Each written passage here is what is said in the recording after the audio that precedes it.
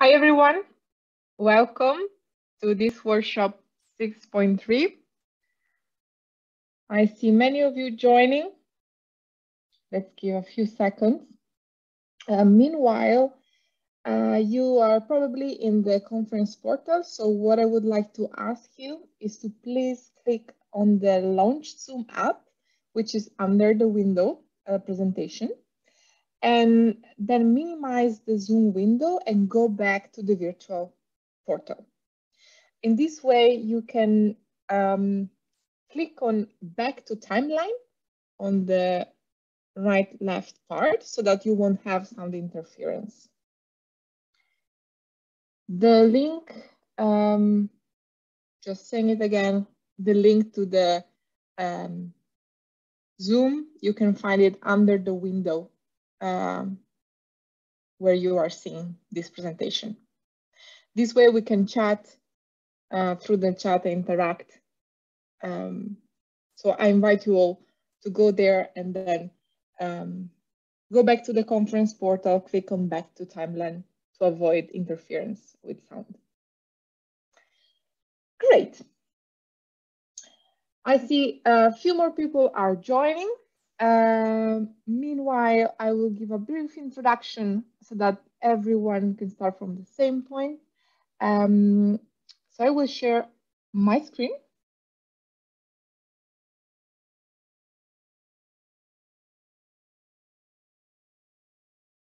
Mm -hmm.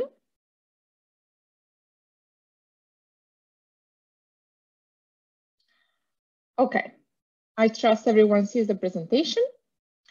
So again, welcome everyone to workshop 6.3. I'm your moderator uh, for this panel. I'm Grazia Bassazin, program manager at QuTech uh, at Delft University of Technology in the Netherlands, and also part of the coordination and support action uh, Qt Edu team. So before we dive in this workshop, I want to remind you to all the appointments uh, of education in quantum technology today so we have our workshop now. Um, then there will be Federica Alice Beduini with um, a game, an interactive tool to introduce quantum technologies. And then in the afternoon, uh, Jacob Sherson will moderate uh, an invited talks, invited talks and panel discussion on education in quantum technologies. So what's the agenda for uh, this workshop? Uh, we will have four talks um, by our speakers, then a Q&A session, a community discussion, and we will have some time for community input towards our European roadmap to quantum awareness. And finally, a closing summary by the QT team uh, about the future of quantum technology education uh, in Europe. So let me start uh, to give a little bit of background about QTEdu for the ones um, who don't know it yet. So everything started from the strategic research agenda where some needs were highlighted. There was a need to create an ecosystem in Europe of a skilled quantum workforce. Um, there was a need to work against a shortage of quantum experts and to create, uh, create a well-informed uh, society that would be able in the future to um, accept the quantum technologies. And the need to work on those uh, lines was um, very clear for univer university education, uh, industry workforce, high school, and the general public in, in general. So outreach, right? And overall, there was a need of creating a synergy between academic researcher, education experts, and industrial partners. So along those lines came uh, QTEdu CSA, um, running for two years now, one year has passed already. Um, and our action lines are uh, mainly four, community building and support of the community, scale up quantum education in Europe uh, through pilot programs, have a common language, establish a common language for quantum technology competencies and skills, and collecting and sharing resources. So I will briefly go through the four of them, and then we will start with the talks. So first action line, building the quantum education community. We have done so through the creation of five working groups. Uh, it's a very large community uh, of 325 members coming from 36 countries. And every working group um, discussed topics about a certain um, target audience, of course, that we um, mentioned before, so higher education, primary school, and so on. Uh, pilot projects, we uh, have the creation of um, pilot programs. Each pilot program is targeting a certain audience again. Um, at the moment, 11 pilots are running with 129 members coming from 25 uh, different countries, so very exciting. And today, um, the pilot of industry initiatives will be uh, presented by his uh, coordinator, Andras Pályi. Then third line of action was the creation of a common language uh, for quantum technology. And this is the competence framework uh, that was published and you can also find it um, through the QR code. And finally, um, the creation of infrastructure, an online repository for resources at different levels. So could be internships, so just database, um, outreach material, education programs, uh, and so on. And you can also find that through the QR code here, and you can also submit um, your data, sorry, your materials. Okay, uh, I would say let's uh, go to the talks. Um, just so you know, you can always uh, write your questions on the chat or raise your hands as well. There will be time for questions at the end of all the talks, but if you want to just fire a question uh, in the meanwhile, if you have time, we can uh, take it. So first uh, invited speaker, uh, Araceli Venegas Gomez. Um, with the talk, uh, Quantum Technologies Training Initiatives Worldwide in the Present and Future. So in this talk, Araceli will describe the quantum workforce bottleneck and will provide an overview of the different initiatives uh, regarding education for quantum technology around the world, from primary school to industry training. Araceli is the founder and CEO of QURECA, Quantum Resources and Careers, an online platform for quantum training and resourcing to support individuals and businesses to be part of the quantum revolution. So Araceli, thank you. And the floor is yours. Thank you, Grazia. Okay. I hope you can hear me and see the, the slides. So yeah, I just wanted to provide a little bit of, um, you know, an overview to start the discussion today. Um, in any case, if you have any particular question for anything specific, happy to discuss afterwards or just uh, put it in the chat as Grazia mentioned. So when we think about the ecosystem, you know, everybody's talking about the ecosystem. We talk about the scientists, people in academia, people working on the fundamental science. We also talk about industry. So we, we are counting on industry, the quantum startups, but also the end users. We have the government, people putting the money onto the science to create this industry. And we also have the general public. This is kind of the whole ecosystem. What is the quantum ecosystem?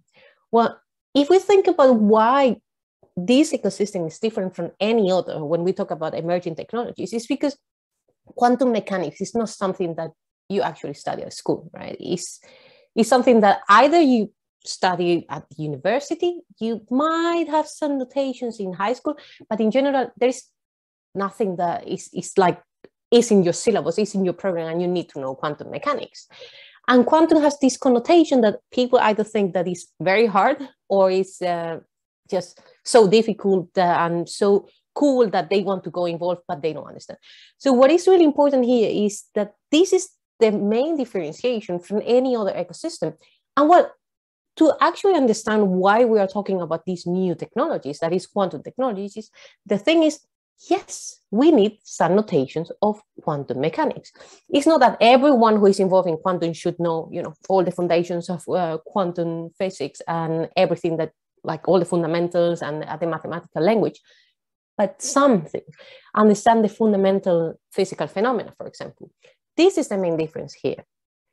And the truth is that we know that we need to educate this workforce, the, the present workforce and the future one And in order to be able to do that, we need to think that even though quantum technologies are not yet as a whole in our society, it's going to be coming, you know, progressively in the next decades.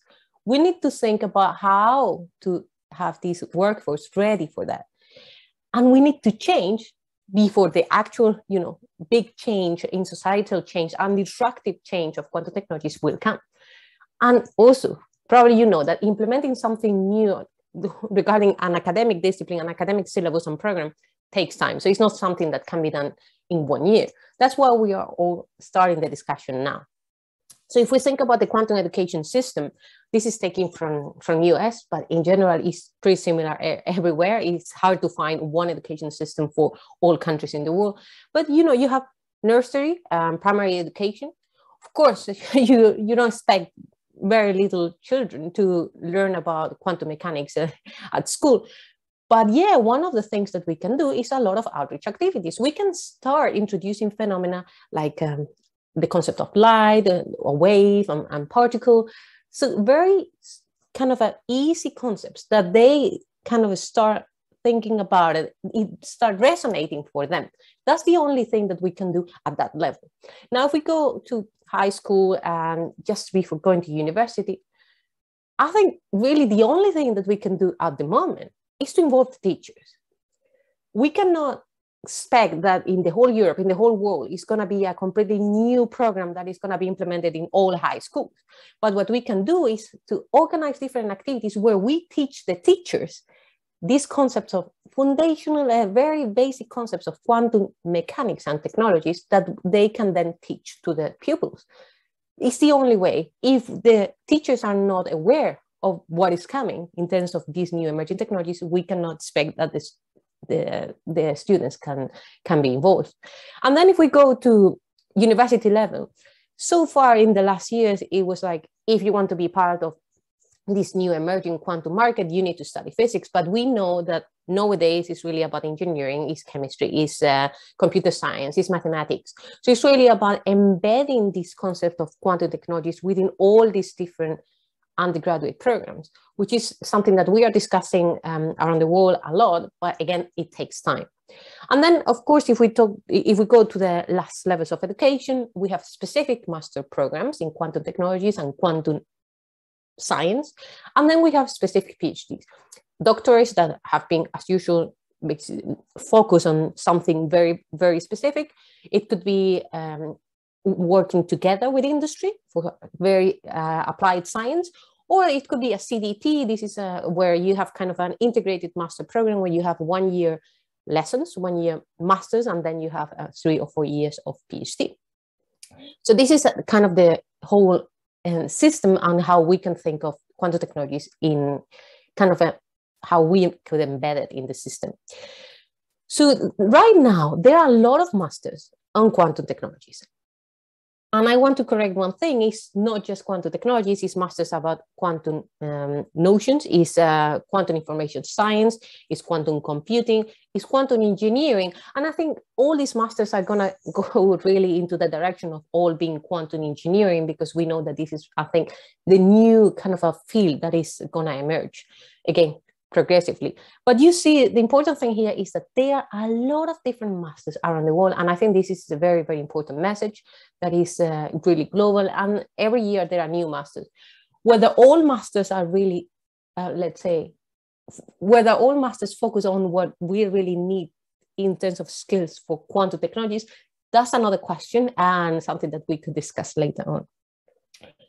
And I wanted just to give you um, a kind of overview of other educational resources. And I say others because we are not talking here about um, really programs at university.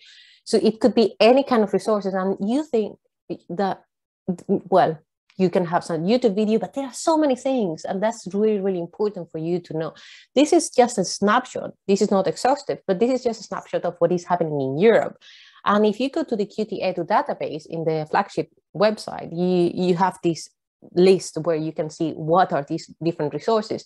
And what is even more important, if you have, as Grazia mentioned, if you have another resources that is not there, you can always add it. So we are kind of building all this educational database of resources available in quantum education, which is, I think, very, very important.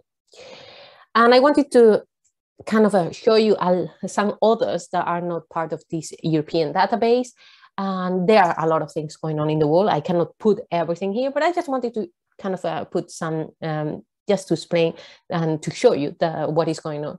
So we know that in Canada, well, the, the Institute for Quantum Computing has been there for more than a decade and they are doing really amazing work. But I think on in terms of outreach, they had uh, they hosted the, uh, a quantum exhibition at the at the science museum they really have a, a, lot of different ideas of how to bring these concepts to young children. And i think we could learn from you know lessons learned. We can just uh, talk to them and see what they have done that we can maybe incorporate some of these ideas in europe. In us uh, ieee quantum they have kind of a workshop every month or so where they bring people from all over the world presenting what they are doing. They kind of have very specific workshops in the IEEE Quantum Week every year, and they are doing a lot of different activities on that. I think it's very worth that if you want to know more, that's just uh, type it in, in your Google browser and, and you will see what is what they are doing. And then Qubit for Qubit, this is a nonprofit organization and they target high school scholars. So they, they kind of bring the notion quantum computing uh, mainly um, to, to the students. Then in Latin America, there are a lot of things going on. Um, we have Quantum Hispano. This is a community of people, um, mainly students and people coming from computer science that want to know more about quantum computing. And the Unconventional Quantum Computing Lab in Mexico, they kind of have a, a YouTube and also I think um, they are trying to create now another kind of course where they focus on some specific algorithms in quantum computing. And then you have Brazil Quantum. This is the, the first community done by students, for students, where they explain notions of quantum computing again in and here in Portuguese. If we go to India, they have Quantum Computing India. This is a massive network of people where is mentor the mentors.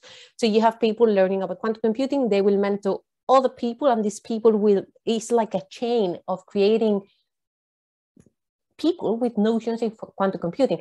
I'm not saying people ready to be part of the quantum workforce but they have the specific notions to be part of this um, kind of ecosystem of individuals who know uh, the basis of quantum computing. And then in in australia you have the sydney quantum academy.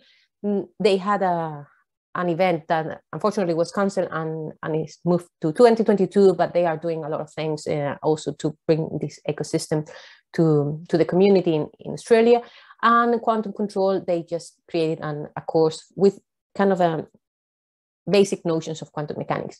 Then we have Strangeworks, we have QBraid, we have a lot of different resources. So just to give you this general overview, I put here, again, this is not exhaustive, but here you have a lot of different events uh, and resources and companies working on quantum education. So when, when I talk about general resources, we are talking about either societies or companies um, that are doing different things. They are creating um, specific content, uh, educational content. They are also organizing workshops, events, and examples is, of course, QWorld. If, if you're familiar, they are doing fantastic work, not only in, in Europe, but all, all over the world. Um, of course, if we talk about workshops and events, you are all familiar with the Qiskit Global Summer School. I think last year or this year, there were 5,000 people trained in, in the Qiskit platform. Um, we are here in EQTC 2021, where of course we're also learning. Um, then I think when we talk about games, it's really it's something that a lot of people um, don't have in the first glance when they talk about resources, but there are very interesting things out there. And quantum chess, I think, is one of the most famous uh, where people play chess uh, with notions of quantum mechanics. And when we talk about online courses, you have courses from academia, uh, of course, in Coursera, EDX. Um, you are familiar with probably the MIT course, and at QURECA, we have uh, specific courses where we partner with um, with different institutions and an industry. So you see, there is really a big um, overview. This is really a, this overview, and there are a lot of different resources. You just need to know where to find them. So everybody's talking about the quantum workforce, and I know that I'm gonna be a little bit late on the talk, but hopefully it's okay. But why everybody started to talk about this workforce is because actually they realized that they don't find the people with the right skills. It's a bottleneck that is already happening now. So what we did was uh, to kind of estimate this job market at the moment and how this is gonna be evolving in the next decades. And we see that it's gonna be exponential most of the people who are going to take these quantum jobs in the future are people who are now again in primary school high school. So we go back to outreach activities and teach the teachers. But we also have a new market of of different startups that need workforce at the moment. And here just as, for you to have this overview there are startups all over the world. And some of them they struggle. They struggle to find people with the right skills because the workforce is not ready. The pool of candidates is very, very small. And because the skills are very specific, again, we are in the phase, still we are in the fundamental science, in the basic science research phase for this emerging market. So we need a lot of people with very um, specific experience. We need people that have been working in industry, but also understand quantum. And there are not so many. So if you're curious, just a little bit an overview of all the countries where you find um, startup companies. And I think this is really, really good for you to understand. It's everywhere, it's in a lot of different countries. And this is really a global community. So we need to work together. We need to coordinate activities. And I think that's why it's very important that we discuss uh, how we can do that in order to create the, the workforce. So just some words of what we are doing, so why I'm presenting this and what we are doing at, at QURECA this ecosystem that I mentioned before, well, is there is a clear gap between these different stakeholders, right? Is if you think about the academia and the final user, then user the, the industry, you know, there is kind of a language problem.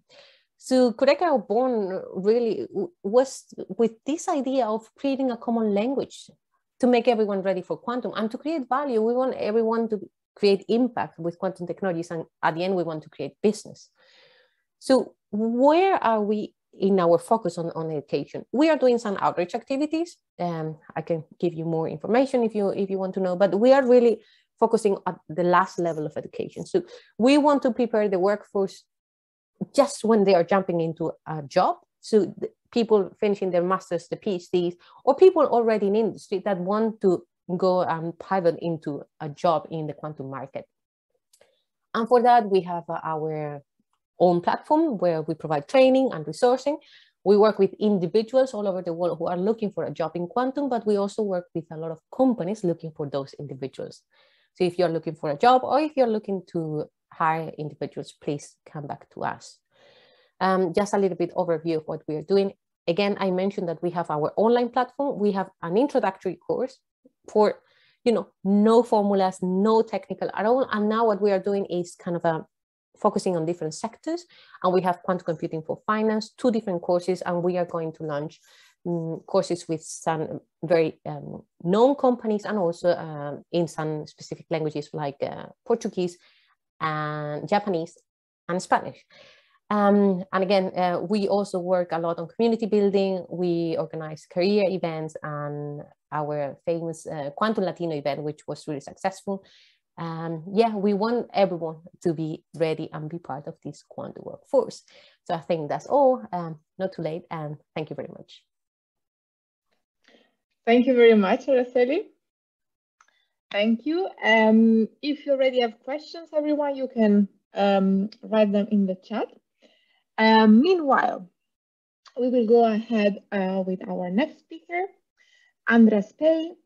Uh, Andras will talk about Quantum Retraining Network, QAREER, a QTEDU pilot project for industry workforce retraining in quantum uh, technologies. And Andras is the contact person of uh, the pilot. He will uh, tell us all about it. And Andras is associate professor at the Budapest University of Technology and Economics in Hungary and founder of Hamilton Consulting, an enterprise, enterprise for education, consulting, and research in quantum science and technology. Andras, the floor is yours. Thank you, Grazia. Uh, can you see my shared screen? Yes. Good, thanks. Indeed, um, thank you for the opportunity to give this talk here. My name is András Pályi. Um, I work at the Budapest University of Technology and Economics in Hungary, and also in this particular pilot, I'm representing our own uh, um, small-scale enterprise, small-scale enterprise, uh, Hamilton Consulting. So I'm going to talk about QAREER. So the yeah, my proposed pronunciation of, of this uh, acronym is carrier, uh, which is the industry workforce retraining pilot of uh, QTEdu. And uh, the starting point is uh, is simple and and pretty much linked to the previous talk from Araceli.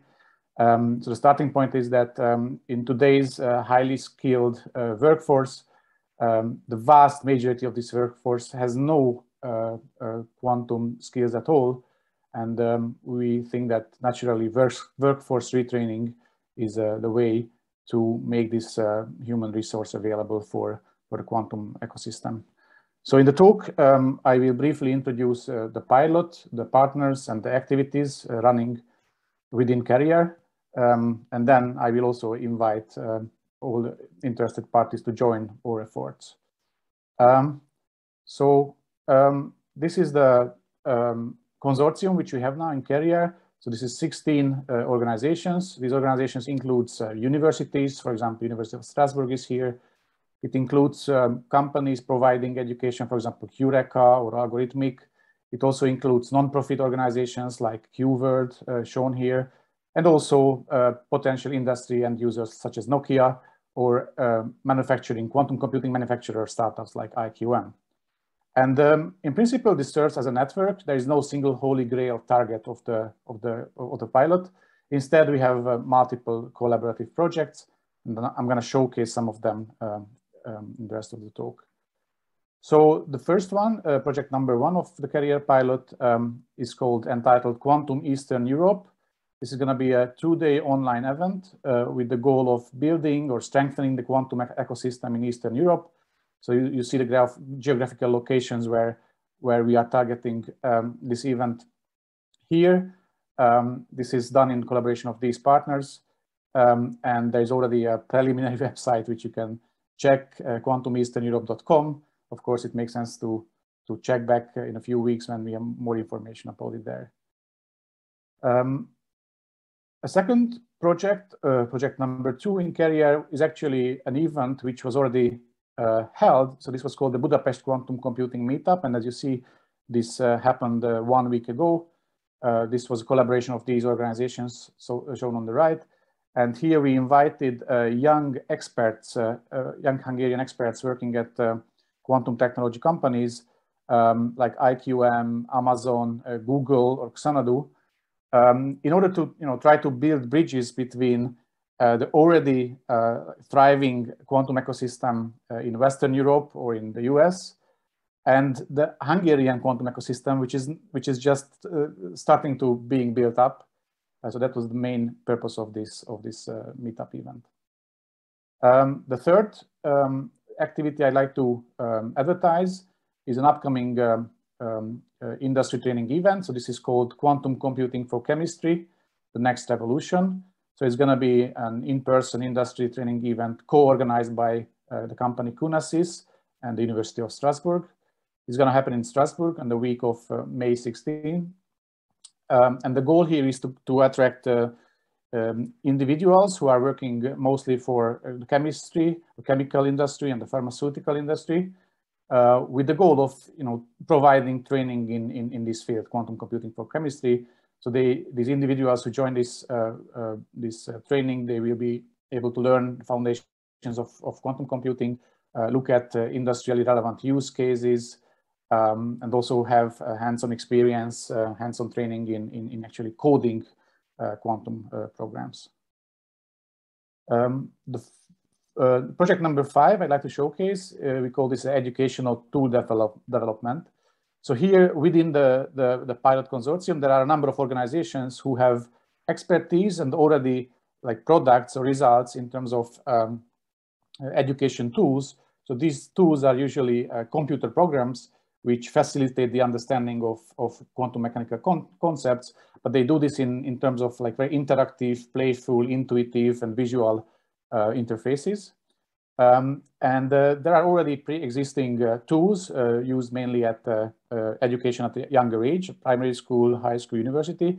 But now the next step for these tools is, is um, to try to gather input for, from industrial end users about their quantum-related training needs. Um, and within the pilot um, activity, the goal is to adapt these already existing ed educational tools to meet these new needs of, the, of the quantum industry and, and of course also to test newly developed features uh, with the target group workshops. Um, and the last thing I'd like to showcase is project number six within QAREER. So this is uh, called QAREER Community Meetup. This is gonna be a monthly webinar series focusing on quantum technology industry workforce retraining. It's gonna start in January. Um, there's already a preliminary website here. Um, but of course, this, there's going to be more and more information uh, uploaded when, when the organization uh, gets in a more advanced uh, stage. So this is a collaboration uh, among these partners of the pilot.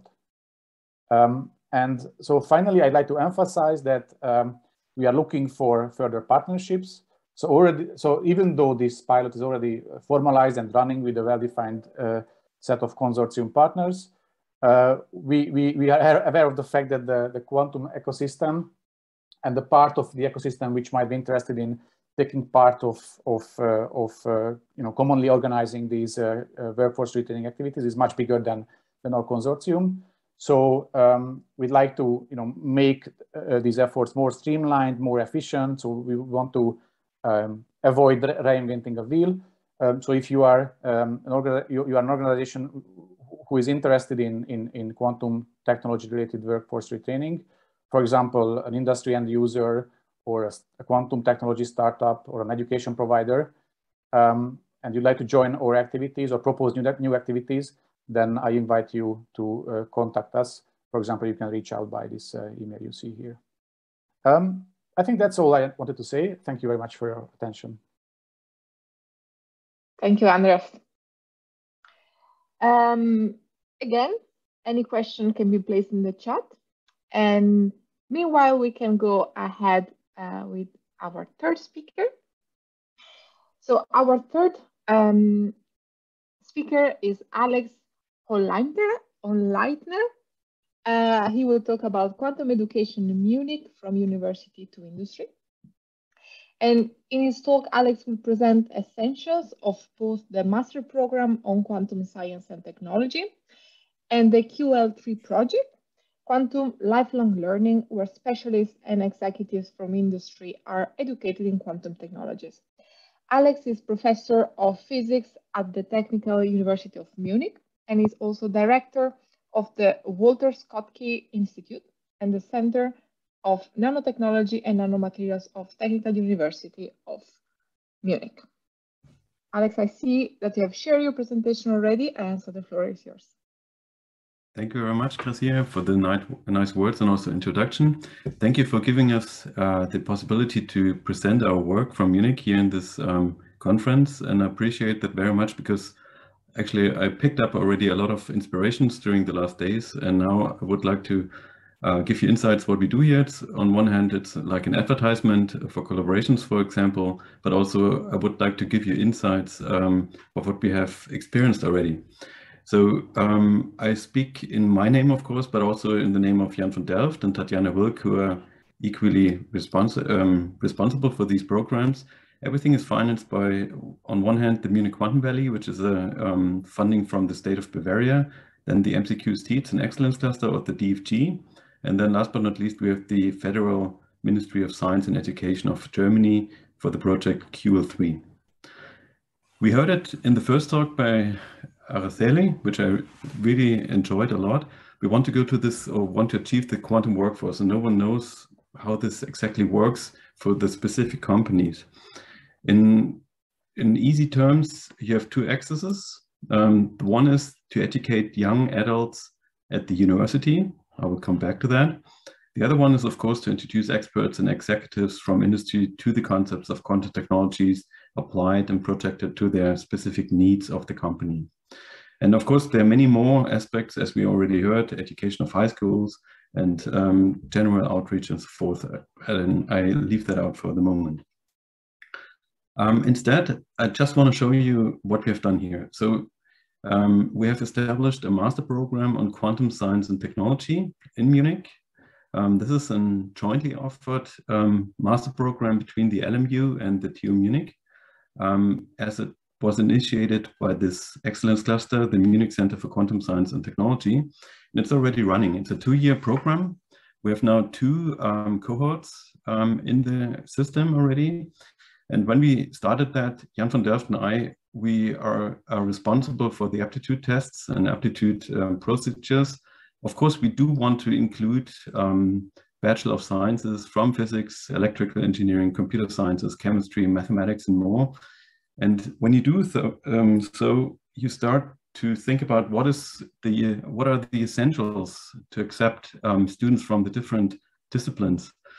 After long discussions, we decided that uh, to enter this program, it must be Quantum Mechanics 1 as a general course, as it's taught worldwide, I think, um, in the Bachelor of Physics. And, and then afterwards, we thought about to balance the different um, abilities, for exa example, from um, of students from chemistry and mathematics. And we made up an aptitude list, basically with points. You can find that online if you go either to this one or to the TUM side where we list all that. It does work quite nicely, I have to say. So we have accepted already chemists, mathematicians, and so forth in the system, but um, you really have to look individually at the applicant's CV and their knowledge um, in order to get there. Because what we already see now, um, you have an, a very incoherent cohort in there. And so um, ranging from um, basically really already experts, little experts, let's say, in mathematics and also the uh, framework like tensor networks and so forth, and then to other people who do not know the basics of linear algebra. And this um, particularly applies if you accept and what you want, it, um, that you have worldwide talents in your program, um, you have to look in detail into the programs. You have to look in detail into the bachelor programs, what I meant, where, uh, where they come from, uh, what kind of uh, courses have they have heard. You need to build up this um, knowledge in your own structure. I mean, in the own university, in this case, it's Jan and me, but also we have um, employees helping us there that we build up a database, how we can make a coherent cohort out of that. There's a gender inequality, I can tell you, my dear colleagues. Um, what we see is now uh, in this uh, master program, Quantum Science and Technology, we are below 10% um, uh, females, and uh, we hope that we can increase that. But in my personal um, experience, I'm father of uh, two kids and uh, one girl, and she's now in the middle um, class of high school. And I see it starts in the seventh class in Germany. Um, when mathematics starts to become a little bit more complicated, and then the girls, they have other attractions, let's say, um, and they don't concentrate so much. And this gap starts. And I think um, this is also a little bit of an idea in this workshop um, for the experts in the audience um, that we should really look into this, um, into the kids uh, age of about 12 to 14 where this uh, gender inequalities starts to happen. And I agree, it depends very much on the teacher, um, how good he or she teaches physics in this case. What we find, um, that uh, there's also a separation in the cohorts where you have a lot of students who totally focus on quantum information theory, and especially they um, want to know everything about the theoretical concepts and the, you have a lot of very good mathematically oriented students in this cohort. And then on the other hand, you have uh, people working on uh, quantum hardware, as we call it, um, who want to know the NV center, how, how does it work, how can build a quantum sensor out of that.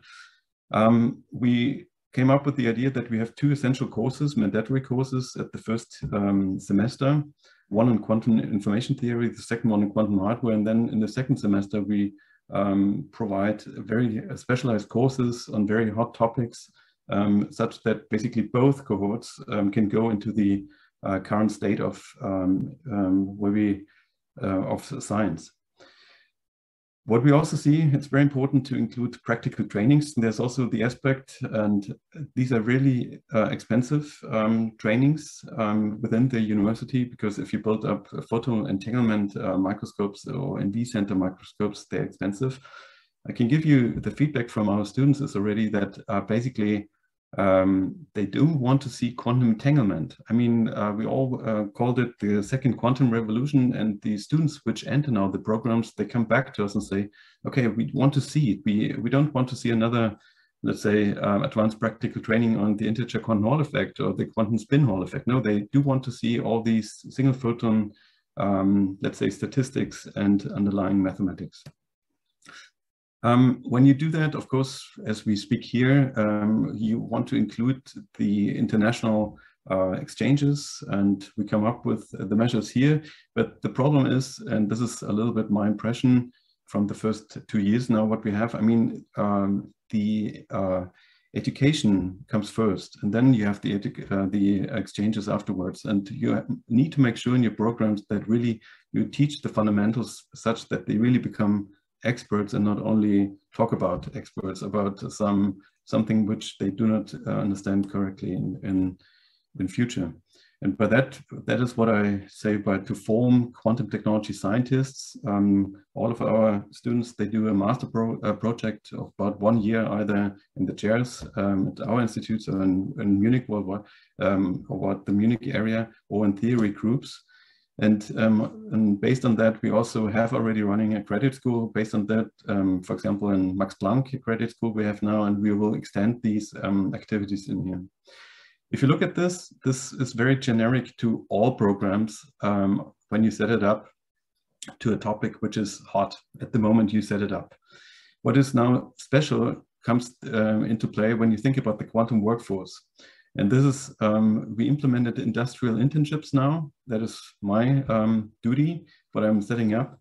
Um, and now comes, again, it's not mandatory in the courses because I still believe that the education comes first, but on a voluntary base, they can do um, internships at the companies. And this is financed now by this Munich Quantum Valley. You see the involved companies here in Munich, but we accept many more.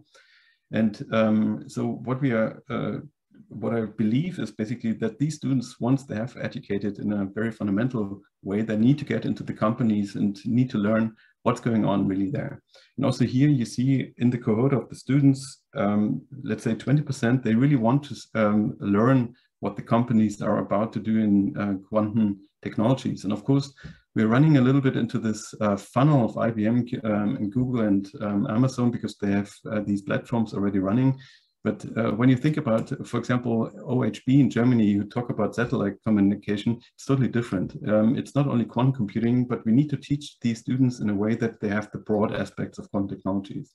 And now comes the other interactions, what we have. We are doing all this within this uh, large project, Munich Quantum Valley. Um, we educate the QST students who want to get uh, this information in entrepreneurial aspects and such that they may um, start um, startups. And then, of course, we need to implement them in the small and medium-sized companies. I want to mention in this consortium here, for example, Qtra. IQM is a little bit um, larger. It's already medium-sized. It was already mentioned beforehand. Um, and we're in contact with these companies and that that we um, that we funnel um, the students into these um, internships, but at the same time that we give opportunities for the companies to stay in, in the ecosystem close to the university in our case. And this now comes to the next um, part, what I want to present. When you, when you think about how can we um, teach experts from the um, industry in there, we come up with this program, Quantum Lifelong Learning. So basically there will be extra courses for executives in the evening, on the weekends, or also in blocks um, where they can get taught in quantum technology. And again, there we have um, on one hand uh, that we have to teach the fundamentals. So um, what is quantum physics? We heard we hear that all over the time from the CEOs and the CTOs that we need to teach that. On the other hand, each um, company has a specific interest. So we need to serve the interests here. And so the projection is totally different. This is funded by the Federal Ministry of Science in um, Germany. And then by that project, we want to also transport the essentials. And um, what I mean by that is uh, when these executives from the industry come into the courses, they need to understand what is this measurement principle? Why do we need to integrate such a long time? Or what is the, the shot noise contribution? What is, um, how does it work to build a quantum sensor? Um, how stable do the framework needs to be? And this is what I um, call the essentials, what we need to do. And I personally uh, totally uh, um, have the impression that we need to teach them in a practical way that they really see it. They don't want to watch another YouTube video or something. They really want to see the experimental setup and say, okay, this is how it works. And if I touch this mirror, it doesn't work anymore. They need to get this haptic impression, what I call it. And by that, to trigger the quantum heureka, um, you need to have one individual in each company who is totally, who has this idea, okay, for our company, we could benefit from this quantum technology in order to have a product um, which is related to, let's say, semiconducting companies or car companies and so forth. Um, what I would like to share here as well is that this effort, what we are putting up, is not only my effort. And this is also my impression. We have to, you have to interlink and again entangle each other. And um, as I said before, um, all these projects are uh, nicely organized together, together with Jan and Tatiana here but it relies on many more people in the background. First of all, we have Christian Back and um, Martin Brandt here. Christian was very important for us and is very important because when you come up with master programs, if it's an international one, you always have to go to the legal, um, uh, let's say, frameworks of each university, of each state, of each uh, country. And it, it's very tricky. And so Christian is a very experienced dean, former dean. And so he knows, he knew all that and he helped us a lot. Martin, for example, um, is just um, developing advanced practical trainings for us. And so you need uh, persons like him, an experienced professor who knows how to set up things, how much it costs and so forth, what you can do. Everything relies on um, the uh, success of our excellence cluster, the Munich Center of Quantum Science. And here we have Immanuel Bloch, Rudolf Groß, and Ignacio Cirac, the spokesperson and without their impact and also vision, um, you have to uh, basically get the political setting of the ecosystem right in order to get all people on one table. Ignacio, um, I would like to highlight in particular because he and Monika Aidelsburger, they are the first um, lecturers of the mandatory courses. So Ignacio is giving um, now for the second time this quantum information theory mandatory course and Monika is um, setting up and has taught already the quantum hardware course. And I'm very happy. Uh, it's, always, it's always a, a, great joy to discuss with her because she comes from um, atom physics and I'm a semiconductor person or let's say a solid state uh, quantum person. And hereby we have the different interdisciplinary uh, approaches even within physics. I would like to mention that Rainer Blatt um, now is the director of this Munich Quantum Valley. I'm very happy that he comes here, not only that he started this AQT um, startup, but also with his um, visionary um, approach to uh, how you form such an ecosystem. Um, and uh, you, he pushes all the barriers and thresholds what we have from politics. I would also um, like to mention Florian Marquardt from Erlangen here from the Max Planck Institute because he, together with Jan, are setting up the graduate school, what I uh, mentioned before, and uh, by that, they are very essentials. Last but not least, two seconds more, we have Bernhard Kraus from the TUM Institute of Lifelong Learning, where they have a lot of experiences with companies, how to interact them, how to get the feedback, what they need. And last but not least, um, Jochen Kuhn is joining us now at the LMU, um, and he's helping us with the didactic um, concepts of this project. To form the quantum workforce in Munich. And this is basically the quantum education from university to industry. Thank you very much for your attendance. And I think I'm still in time. Sorry for a, bit, a little bit too long. no, no, Alex, thank you for the presentation. You are absolutely on time. And yes, I've seen uh, many questions coming up already. I would say let's keep them um, for the Q&A session. Um, and I will introduce um, our last speaker. So, sorry. Yeah, now it's fine. So, Anand Sharma uh, will talk about digitalized platform for internationalization, master study track in quantum technology. And in his talk, Anand will present the mobility system uh, cooperation in higher education, uh, MyScore project at Aachen University um, responsible for establishing and developing digitally uh, supported curricula. The project is carried out in collaboration with Chalmers University of Technology and Delft uh, University of Technology.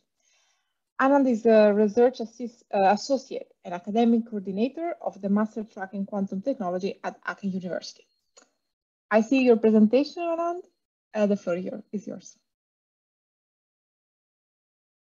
Thank you. Thank you, Grazia, for the kind introduction. And also thank you to uh, Grazia Oksana and all the organizers of the EQTC 2021 Workshop 6.3 for giving us an opportunity to here to share our work.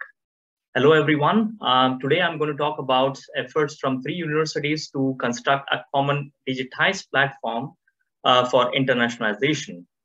Uh, it is a part of a project uh, uh, uh which is a part of the so-called our master's two years master study track, uh, which we started at the Aachen. It's called quantum technology. And although today I'm going, not going to talk about this, but if you have any questions related to the, our two years master study track, I would be happy to answer them. So uh, following is the um, outline, sorry. Yeah, exactly. So uh, I shall start with a brief introduction to the MyScore project, followed by the major part of the, my talk will focus on the digitized platform for international internationalization. And finally, I shall conclude our uh, uh, with an outlook. Um, so let's start with the MyScore project. Uh, the digital platform for international master studies um, is a part of the MyScore project, which stands for Mobility System Cooperation in Higher Education. The goal uh, of this project is to enhance the digital offering and make the potential of digitization available for internationalization on a large scale. It is financially supported by the Federal Ministry of Education Research of Germany and uh, German Academic Exchange uh, Service as part of uh, international uh, mobility and cooperation digital program. The MyScore project is coordinated by the International Office of RWTH Aachen University and is a collaboration between the uh, faculties and the department, including the Department of Physics. So uh, now let's uh, move. Um, uh, let's move to the to more more focus on the MyScore project itself. So, um, uh, so here we, uh, as you can see, um, the digital, uh, the, the idea with the MyScore project is uh, we follow the so-called distance learning and assess, distance assessment approach. What it means is that the students get an access to our uh, to other university courses via distance learning, and they get assessed for the learning outcomes through the distance assessment method. The MyScore physics team of RWTH uh, Aachen uh, University we, uh, approached two of its four IDEA League partner universities, namely Chalmers University of Technology in Sweden and the Delft University of Technology in Netherlands. And we visited them in February 2020, which is just before the Corona started um, yeah so at that those times we could actually move around very easily and uh, now we hope that we could uh, also do and uh, collaborate and uh, with more partners uh, around the world as well so yeah anyhow during these meetings uh, we have we had a lot of discussion about what could be the um, study or the topic which could interest all of us and actually uh, the advanced selected topics in the field of quantum technology appeared as common uh, interest.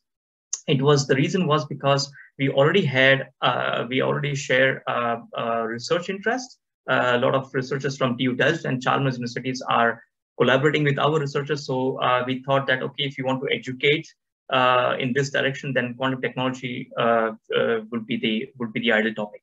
And because since we also have our already the master's program uh, master study track uh, developed already here in Aachen. Uh, so we thought it would be a natural step uh, for us to move in this direction.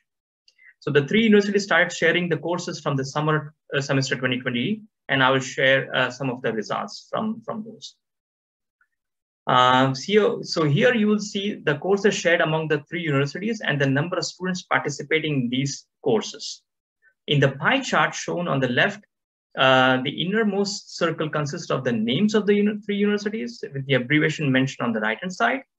The middle circle composed, uh, composed of the winter and the summer semesters of 2020 and 2021.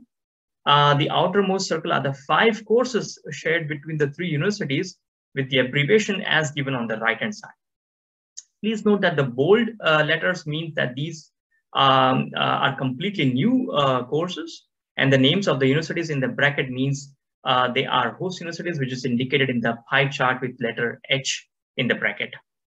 As can be seen, 63% of the students participating in these uh, courses were from RWTH, 19 were from the Chalmers Institute of Technology, and 18 from the TU Delft. Moreover, three of the uh, three out of the two courses uh, were shared in the winter semester uh, because we, uh, we, because at the time we could plan it way more better. In the current, uh, uh, yeah, so we also had a lot of other courses which I will also share in a, in a minute also. So in this slide, you can see that the course evaluation for three out of the five courses are shown. Um, uh, the number uh, means uh, the number one means a very good rating, while number five means very poor rating. I'm mentioning this because in some universities it's exactly opposite, uh, where five means bad rating and one is uh, good. Uh, but at ours, it's the it's the other way around. So on the left are the two new courses, while on one on the right is an old course. old course in sense it was already offered before we started our collaboration. So and the two new are on the left hand side. As you can see, the global indicator for the new courses is not far from the very well established old courses. And overall, it's a very strong positive evaluation uh, report from the uh, students and it uh, with a well-defined lecture and exercise concepts. So here you will see the list of uh, the uh, uh, courses that are offered in, by the RWTH in the summer semester 2021. Unfortunately, only two Chalmers students participated in the advanced quantum electronics course and, um, and uh, we have been informed this is because the master students are already preoccupied by too many courses as a part of their study curriculum. And moreover, there is uh, uh, unfortunately no dedicated person or academic coordinator in Chalmers uh, uh, to, to or, or TU to carry on uh, for that.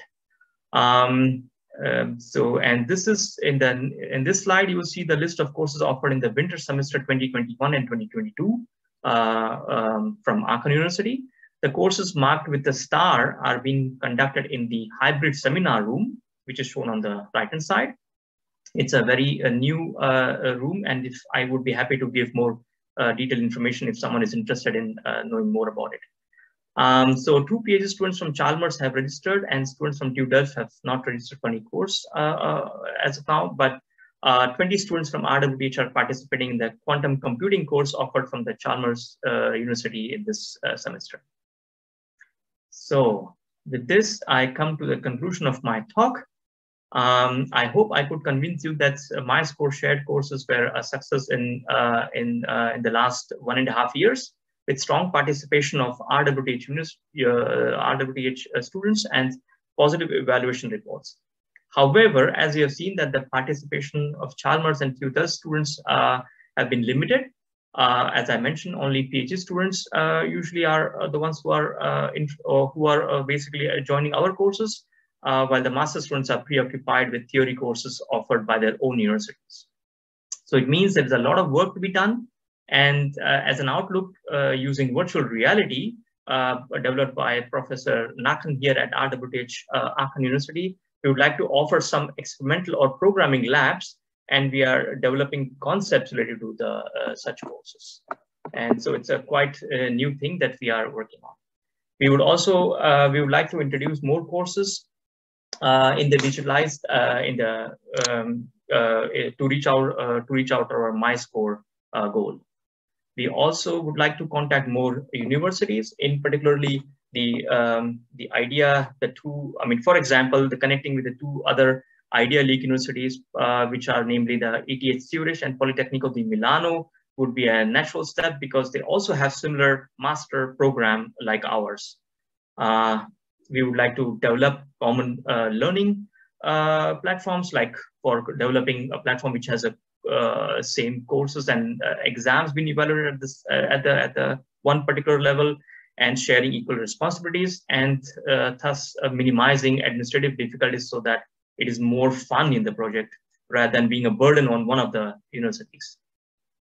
Last but not the least, I have to uh, admit that due to MyScore and teaching activities, uh, we could not devote too much time with the uh, with the uh, QTEdu. However, in the coming weeks or months, we would like to increase our visibility and join the formidable, very uh, strong efforts from the QTEdu in connecting to more students and universities interested in the distance uh, learning and education. Of course, all this work is not done just by me. Uh, there is a whole team and whole uh, lot of people involved, and such a collaboration could not have been possible also with the help of them. We of course have uh, uh, uh, financial support from the, the AAD and the BMBF, which I already mentioned, and the talented as well as very cool MyFlix team of Dr. Shripant Rhodes, Paramita, Dr. Paramita Day, I and our former colleague, Dr. Thomas Rademacher, who's actually involved in creating this hybrid classroom. Uh, on behalf of the MyScore Physics, I would once again like to thank the organizers uh, for giving us uh, the opportunity to share our work. Uh, and last but not the least, thanks to all of you for listening, and I would be glad to answer any questions if you have. Thank you, Anand. Thanks. Um, so many questions arising. Uh, I would say let's start with the first uh, question that arrived from Rainer Müller.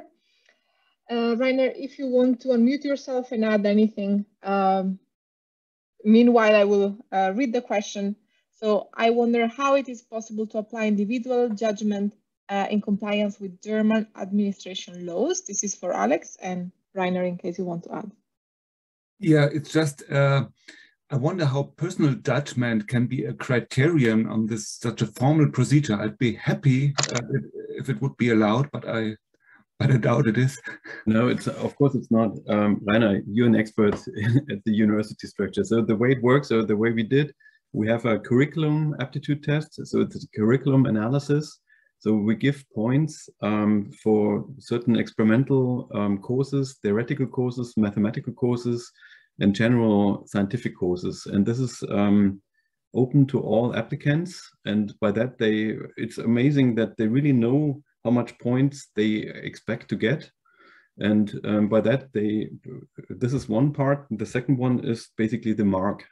We give also a certain um, bonus um, for the very good students, um, in particular when they come from chemistry and something. I mean, they get all the same bonus, but of course, when you say they don't have the education, but they're still excellent students, you should want to have them.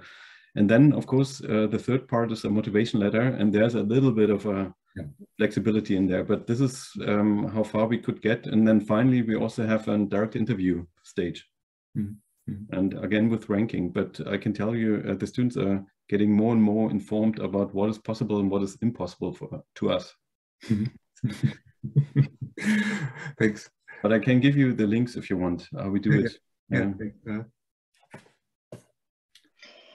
And then we have another question for Alex from Andras.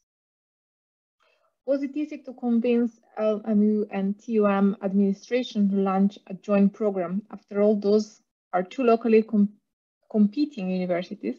This issue might arise in Budapest as well with TU Budapest and um, Eötvös University. So Anand, if you want to add anything, otherwise. You're muted, Andras. Yeah. Uh, uh, no, no, that's my question, yeah. Okay, so I can tell you how it worked in Munich. Um, first of all, we allied um, within this excellence cluster. So basically we found about 40 PIs who said, okay, this is the way to go. And then we decided how it should be structured in a rough way.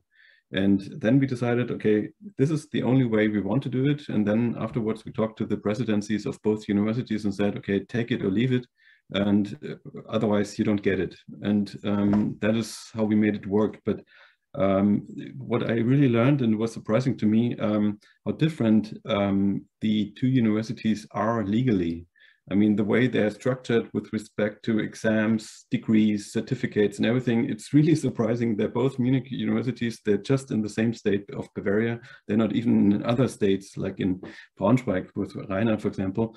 And it, it was really difficult to find a solution to that, but it only works when one of the universities steps down legally and accepts to some degree. You have to have a cooperation contract on that. Um, what is allowed. And of course, but um, the way it worked in our case, uh, together with Jan von Delft, who's also in the audience, was always on the same level. And we said, okay, uh, we're just equal in all decisions what we take. and um, that worked out. And of course, in the background, I also showed it in the, the slides. It did work that basically um, we have the excellence cluster and that made a, a, large impact to both presidents and also to the Ministry of Science in um, Bavaria that we said, okay, this is important to us, we want to do it, and um, this is the way to go. So we, we did not discuss too much after our decision. Maybe if I could just add one thing. Um, hi, Alex. So Alex and I always see eye to eye, but as you mentioned, our university, LMU, decided to um, accept all the rules of the technical university. So the, the administration is governed, uh, done completely by the technical university. And our university just said, okay, that's fine with us. And that was the way to resolve the fact that all our rules are not consistent. Mm -hmm. Makes sense. Thank you very much. Maybe I can also add something because we have, will have a community discussion. We have a similar situation here with Braunschweig and Hanover, two cities about 50 kilometers apart, have also common excellence clusters. And we have solved it this way that we have two courses, to different courses, because it was administratively very difficult in a, in a short time to make a common course. And they are mutually recognized, all, all credit that you make. So it's uh, uncomplicated uh, to, to move credits from one place to the other. But of course, there has to be a, a good will, will on both sides to make this work. But in your case, it's two separate masters. Two separate courses, really separate. Mm -hmm. Mm -hmm. The problem, if I may add to that, um, I mean, this works for two universities in the same state of Germany, but already we had discussions uh, with other universities international. But if you want to do that internationally and you accept all the courses from the other universities, you run really into legal problems because uh, with this ECTS system, I learned how different it is um, interpreted uh, throughout Europe. And um, when once you accept certain courses at your own university, it's it can be really interesting. I mean that it becomes illegal. Full stop. You have to have a co coordinate uh, cooperation contract. Yes, mm. exactly. Yeah. If I may add, um, there are other examples on collaboration between universities here in Scotland, we have the International Graduate School for Quantum Technologies. It's between the University of Strathclyde, Glasgow University and Heriot-Watt. Um, the only way that it works is by kind of creating or building another body. Uh, so we, we call it like this, this International Graduate School, but we have kind of um, taking expertise from the different universities. We have the lessons and we kind of packages in a completely different program that it goes under the umbrella of the Physics Alliance in Scotland. So there are ways to do this, but yeah, normally has to go under a different body, from, kind of a separated from the from the kind of a, each university. And there is the, the one in Strasbourg, you know about this one, Andras, where they they work with some universities in Germany. So yeah, I think it's, it's the only way to, to move forward because some universities have the expertise on maybe a specific platform for quantum computing and they work together with another one that works on quantum communication. And I have seen universities who are expressing interest as well from engineering who would like to work with more fundamental physics universities in terms of putting together this syllabus. So this is for the discussion later, but I think there is opportunity for collaboration between e even different countries.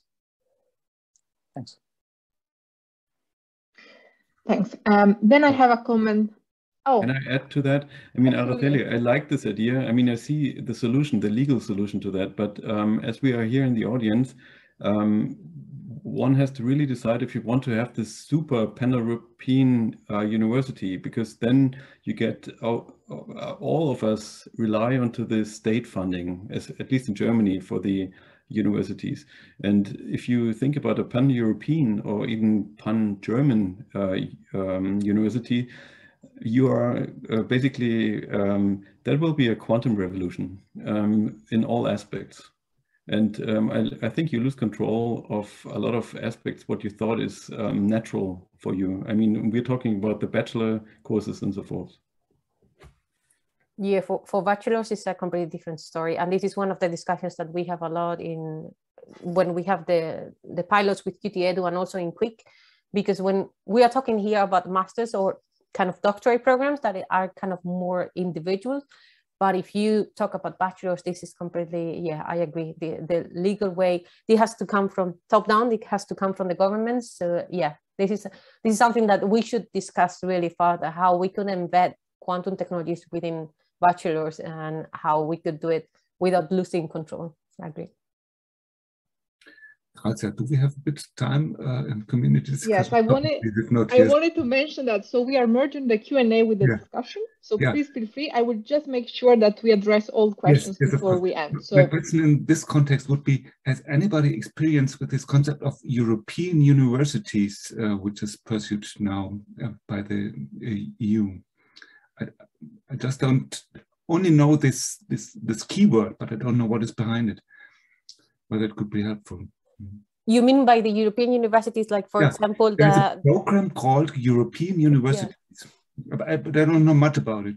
I think what what they do is kind of a being kind of bilingual, and this is done. This is what I know. Uh, I don't know if this is really accurate, but this is done for uh, maybe people from specific countries that are um, kind of um, elsewhere because of their jobs, like uh, maybe people from consulates and so on, they are part of these European universities. So they go there and this is kind of a something that goes under the umbrella of being European without being under one specific country.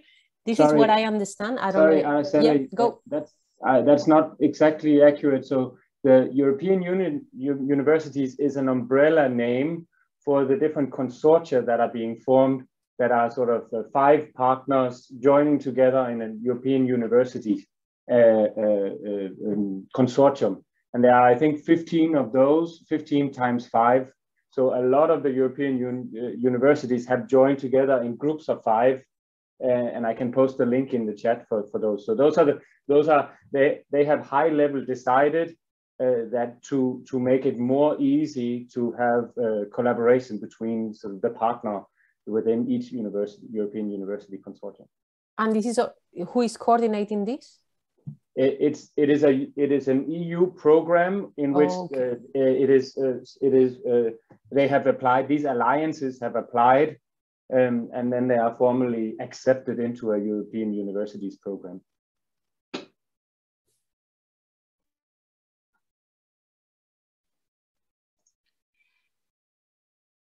Okay, thank you. I then we'll go ahead with the next question. So we have actually a comment from our Araceli um, diversity is a very important point. I see the issue in quantum resourcing as well.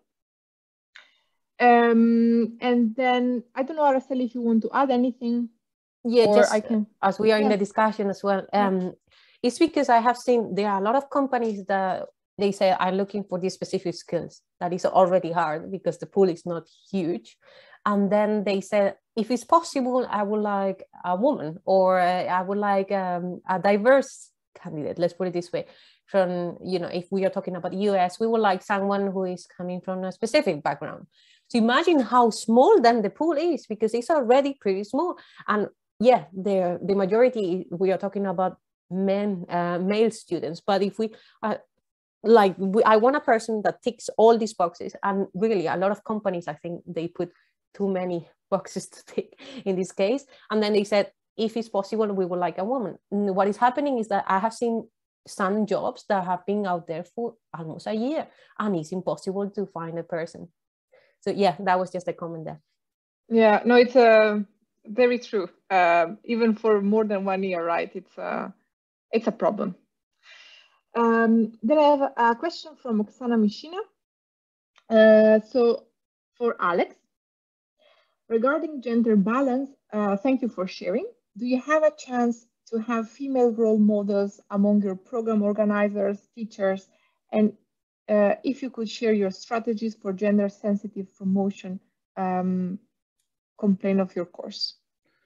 Um, first of all, uh, we have professors like Monika Aidelsburger. Um, she teaches the quantum hardware course, and I we hope um, that she's a role model. I know her, she doesn't like this um, expression uh, particularly applied to herself, but uh, um, it's obvious, right? If a successful scientist gives um, these really hardcore courses on quantum physics, she's a role model.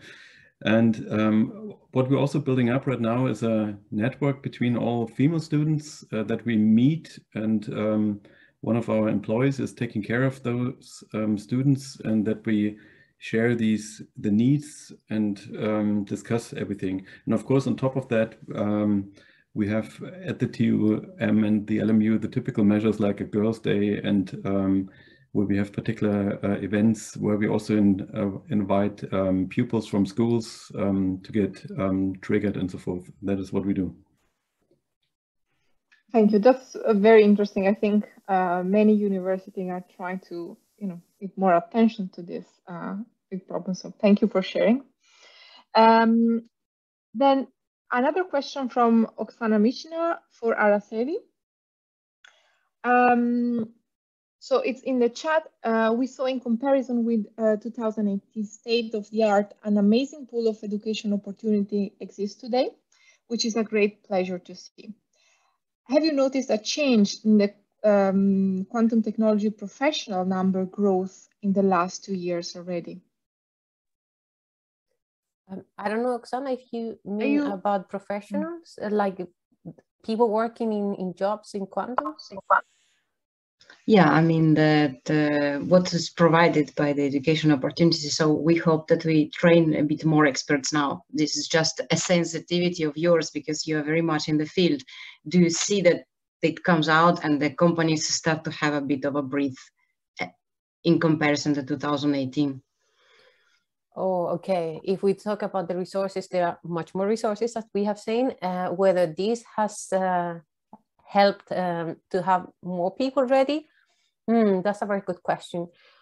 I have the feeling that some people are coming out of these masters uh, thinking that they can find a job right away in quantum, and it's not the case, unfortunately, because again, we are in the phase of fundamental research and people need much more expertise. So there are more people with more knowledge about quantum in general, but it doesn't mean that they are all kind of ready to be um, fit into a specific role. But I think this is going to change. It's going to change because the roles are going to kind of become less experts and, and kind of um, you just want people with an overview. And these people who are out of these masters are going to be ready. So it's kind of a transition that is starting to, to be merged. But yeah, it, I think it's going to take a, a little bit time. Thank you. And I have a question uh, for Anand in the chat uh, by Oksana. Is your online assessment tool accessible only for the courses uh, participant, or could it be possible to also use it as an assessment tool for students who followed a different program elsewhere? Yeah, thanks, Oksana, for the question. Yeah, uh, for now, it's uh, uh, it's only an RWTH uh, assessment tool. Uh, so it is developed for our students taking our courses and also for and our students also involved in other courses. So it's a local, so to say, tool. But as I had also mentioned that in my outlook, one of the things we would like to also do is that develop a so-called a common platform. That would be nice, where you know universities can join uh, and uh, and uh, basically students can also obviously join and so such thing ex exists within our so-called within idea league uh, uh, universities i was informed is the tool is called sirop s-i-r-o-p um, so uh, such thing exert, exists but we have not explored that yet and we would also like to once we learn then then step by step to gradually to extend it in a way that it can be used by any other universities as well so it certainly is possible but we have not exactly worked on that in that direction. Uh, as a just one other thing which I would like to also mention, which is uh, what Alex also mentioned, uh, is actually uh, regarding the ECTS. So um, the problem with the, the uh, universities are also even within Europe. Let's let's focus only in Europe, and then we can focus uh, the whole worldwide. Is that the ECTS is also not common? I will just give you one example. Uh, the quantum computing course shared by the Chalmers University, and we have a lot of students, our students joining the, these course. Uh, so the locally, the Chalmers Universities, they give a credit of 7.5. At RWTH, we don't have half integer ECTS. So, um, so we gave them, our students as eight ECTS for that same course. Then came a question from the students of Chalmers, why RWTH students are getting eight ECTS, which is half a ECTS more than what we are doing. So in order to circumvent this very, very trivial problem, uh, what Chalmers did was they gave a bit of extra homework for RWTH students. And so in that sense, you can justify that, okay, RWTH students can get more ECTS. So it's such a small problem uh, in a way, but uh, uh, they can, uh, you know, they can uh, get enlarged if you are sharing with other universities which don't have the same ECTS system. Um, so that's uh, this is one of the small problems, but there are many other also more. But I think it would be nice to first of all understand all university systems systematically, and then to and then to try to form a so-called a common uh, some uh, you know bridging point and then one can start from there. Yeah thank you nan. Yeah not an easy task but very much needed. Um, then i have another question uh, from andras uh, to anand. Is your program open for students outside of the three university you mentioned uh, also a very good question. So as I mentioned, uh, as I gave an example that we, for us, a natural step was to extend our uh, uh, or shake hands with our other two partners of the Idea League universities. But of course, they're not limited to. Uh, since we also actually got um, um, uh, I, we got emails from Technion University in Israel. I'm, I'm just right now going a little bit further away, and if you allow me to go more further away, we also got a request or email from Tsinghua University in in China. Um, so in um, so we are actually uh, although we have uh, not started because as I said there is a lot of things when we offer certain courses we have to take into account. For example, with uh, Tsinghua, one thing would be a problem would be uh, time wise, uh, like the, there is a, time difference of seven hours. So if Tsinghua is offering courses at 10 o'clock in, in China, our students have to be awake at three o'clock, which is uh, of course if it's live and not in a flipped classroom type of courses. So uh, there are a lot of things that one has to think, uh, um, uh, but talking of within the Europe, we are certainly way more also open and we would like to also shake hands with our own European partners as well. Thank you. Thank you, Anand. Um, okay, if, if, there is one more question, we can take it. Uh, and otherwise, we will go to um, our activity. Let's wait a few seconds. Um, otherwise, uh, there will be more discussion uh, in our next activity, so that's also fine. Okay. So I would like to invite you all uh, to go to the Miro link that I will be putting now on the chat. So what we would like to do uh, during these activities is to collect input from the community um, to see which uh, are the educational goals in three years time and six, 10 years time. Um, and this would be to collect inputs for the roadmap uh, through quantum uh, education. I'm sharing the uh, link and then I will uh, give you instructions on uh, how to do it. So I will share my screen.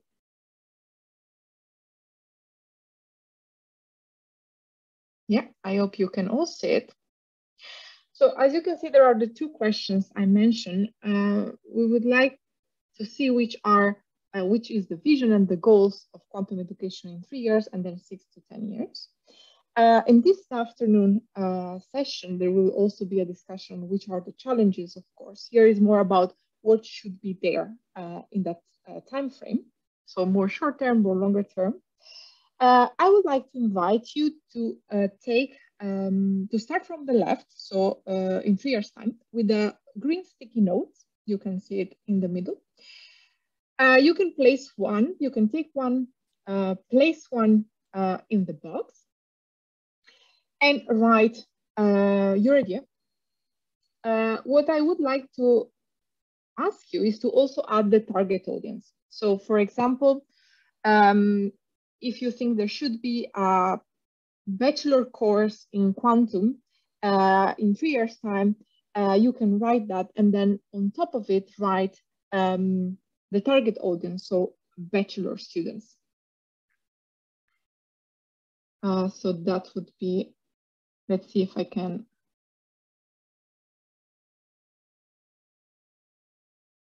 and you can adapt the size. And if you want to write your name, you can of course also write your name under it. So target audience first, and then uh, the goal you propose, and if you want uh, uh, your name as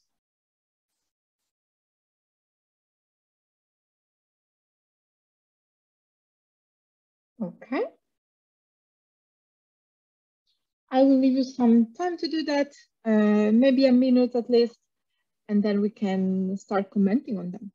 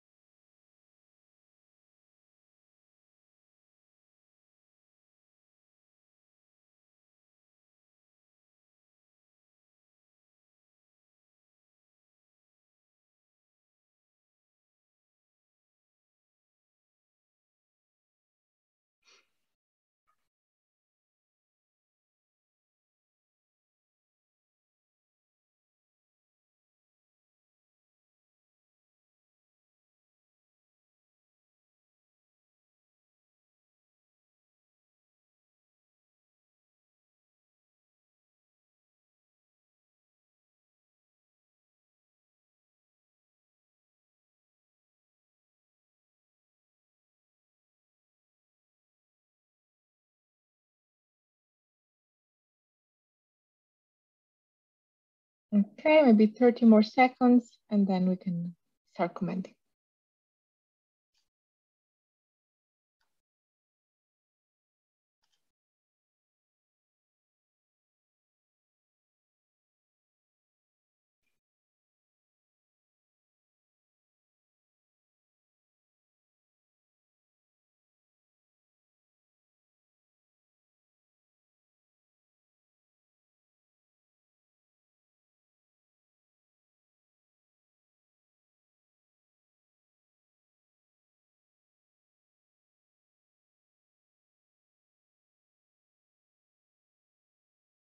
Okay, so the first one uh, that I saw by Alex um, down here, I will just open it a little bit more.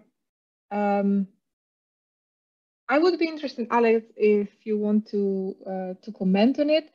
Um, so if I understand correctly, um, you believe that a bachelor course on quantum uh, science and technology is not a good uh, option.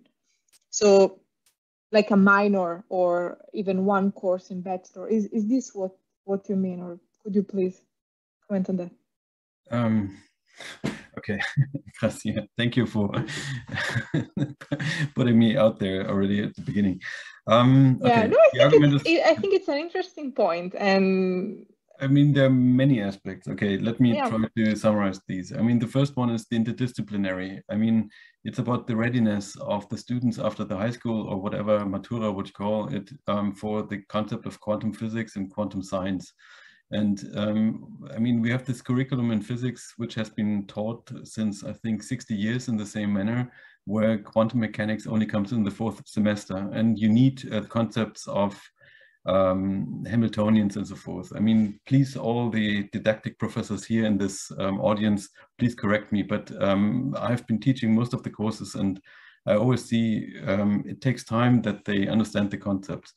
Um, and this interdisciplinary argument then um, is also applied to what you would have to, would like to have in future um, for the companies. Um, it's not good that you, in my personal point of view, have to say that you mainstream um, what you think right now is important, if, for example, for IBM or whatever quantum computing company. Um, but in future, you need to have a more spread of ideas based on fundamental insights um, what will be the next uh, quantum application or the first quantum application or whatever you call that. And um, it's also when you talk to the CTOs and CEOs, um, they still rely on us universities that these alumni understand um, the fundamentals on a fundamental way. They don't want to have um, persons um, from, let's say, high school, which they can teach in their specific product line you they can do that and they do that of course but they really want to have physicists they want to have chemists they want to have mathematicians they want to have computer scientists uh, which uh, uh, where the companies can benefit from the interdisciplinary approaches and trainings and uh, the last point the third one is again uh, with the bachelor courses um, I mean, of course, when you do it on your university itself, my feeling is, I mean, there have been 20 years ago these uh, special courses on nanophysics and nanosciences. And when you look at these courses from retrospective quality measures, I have to say most of these um, alumni, they have then uh, specialized in one of the disciplines what I just mentioned. I mean, nanophysics was all over the place 20 years ago. And uh, of course, there's the nanosciences are still there. I mean, uh, while talking, I mean, they're the, to some part the techniques what a lot of quantum technologies use now. But you don't want to have this generalist um, educated that he doesn't or she doesn't know very fundamental insights of the concept. This is my point. So sorry for this dominating opinion here. no, absolutely not. And I think maybe it's not a you know a popular opinion, but that's maybe even um, why it's even more interesting. Uh, at least to me, it is. And so you would advise, let's say, in waiting during the master to go into specialization of quantum, let's say, because the third year of bachelor would not be uh, I can give you another example. I mean, for quantum information theory, I mean, uh, students ask me, why don't we put, um, for example, the, uh, the second quantization into the program before they start um, even the first uh, mandatory course? This is the feedback what we get from the students. Mm -hmm. So they uh, basically say, why did you even think about teaching us quantum information theory if we haven't uh, heard about the second quantization? And uh, this is a valid argument, uh, but as we all know from our bachelor courses, the second quantization is typically taught in the fifth semester, at least in Germany. And there's a long way to understand all the concepts behind that. Thank you. Thank you, Alex. Um, I don't know if anyone wants to uh, comment to that, um, bring their opinion. Just a brief comment. Yeah. Uh, some people are thinking exactly on the same lines to quote Dieter Meschede, the former president of the German Physical Society, so a prominent person. He says more or less the same than Alex. That uh, mm. better does not make sense. Yeah, I think it's an interesting point because many universities also have, um, for example, TU Delft, a minor uh, program in quantum. So I'm, uh, yeah, I think it's valuable for everyone to know the different opinions and so thank you again, Alex. Um, then I don't know if there is anyone who wrote a sticky note that wants to go for and comment, or I can maybe uh, go just uh, up to you. If you want to um, introduce your point, your sticky note, you can just unmute yourself and go ahead.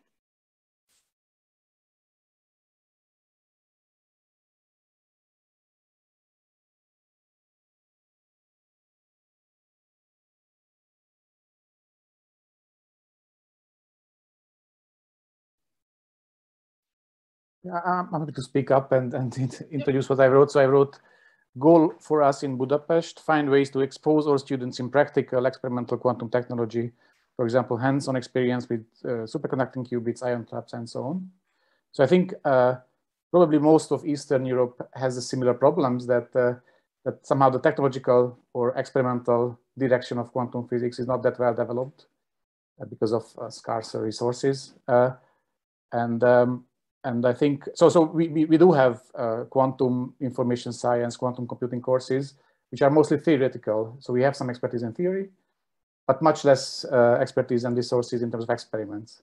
So for us, it would be very interesting to find uh, collaboration opportunities with, with other universities which have you know established experimental setups where where we could train our, our students. So that's just one point. I think this is more relevant for Eastern Europe, but there are many countries in Eastern Europe. So so maybe this is an, an idea to discuss. Yeah, and I also see on the right side the um, another sticky note um, that was about the exchange pro. Yeah, uh, easy and clear study exchange program for master students, etc. So this might be also, yeah, at the end would be an exchange uh, program, right? Andras, if what you're suggesting. Yes, some kind of an exchange yeah. program, for example. Yes, yes. Mm -mm. Okay. Um, Anand, I see you raise your hand. Hand, please go ahead. Yes. Uh, yeah, actually, I would like to come back to what Alex uh, said in the previous comment regarding the bachelor courses. So I was uh, thinking a little bit about uh, about it. So that's why it took a while for me to gather my words and everything. Um, so uh, the point is, um, so here in uh, at RWTH, our master's program is a joint collaboration between the Department of Physics and the Faculty of Electrical Engineering. Now the question comes, what do we do with the electrical engineers? How do we introduce them to this, uh, uh, to, the, to the entire, uh, you know, uh, yeah, to the realm of quantum physics and so on and so forth. So what we did was we developed a course called Quantum Mechanics for Electrical Engineers.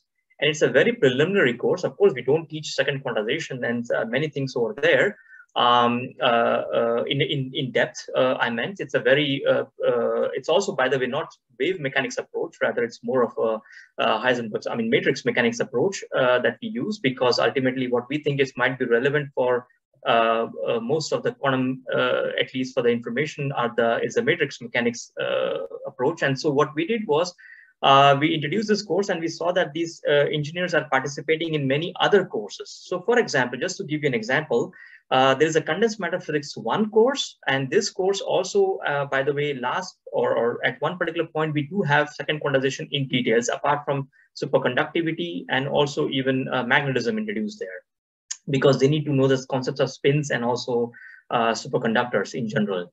So these students, they start even joining uh, uh, these courses as well. So what my point here is, uh, of course, at the bachelor level at RWTH, we also don't have any solid state physics course as such. I mean, we do have a very, very, uh, very uh, simple, uh, it's called physics for nanostructures. It's in a, it's not a really solid state uh, physics course, but it is partly being uh, covered there. And the point here is, if we can teach the engineers and we can get them and get them on board at the master's level, which is a bit higher, then the question is, uh, why can't it be done at the bachelor's level? I mean, this is the question that which I'm asking myself a bit louder and not louder, but I want to also pose it to you all. So I would like to uh, just ask, I think it is possible if one exactly targets what is our goal, right? So as it was also asked, what do I want to get as the, as the bachelor's level? Of course, if they are taking uh, courses like the mathematics methods in the first semester, then followed by classical mechanics and followed by electrodynamics, then followed by uh, quantum mechanics, and then statistical physics, which is usually the course in at RWTH uh, at the five uh, semesters of bachelor's.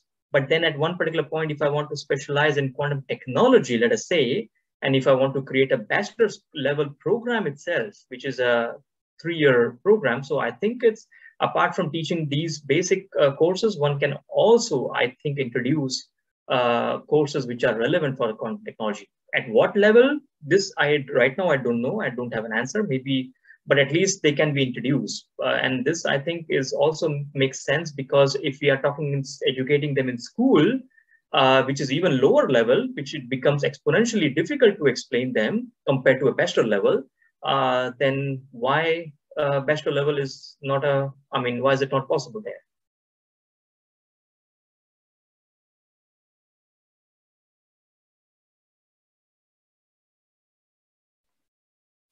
I don't know if there are uh, thoughts about that.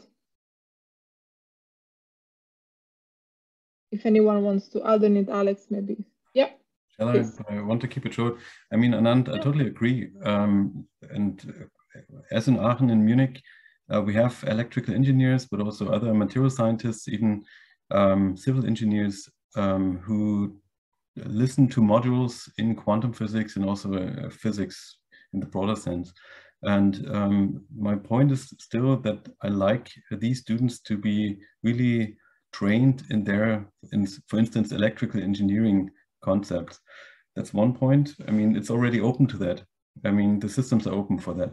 The second point is my personal belief is that um, the quantum uh, uh, science and technology finally moves then either to computer science um, in, in respect that quantum computing becomes part of the supercomputing community, like in Jülich.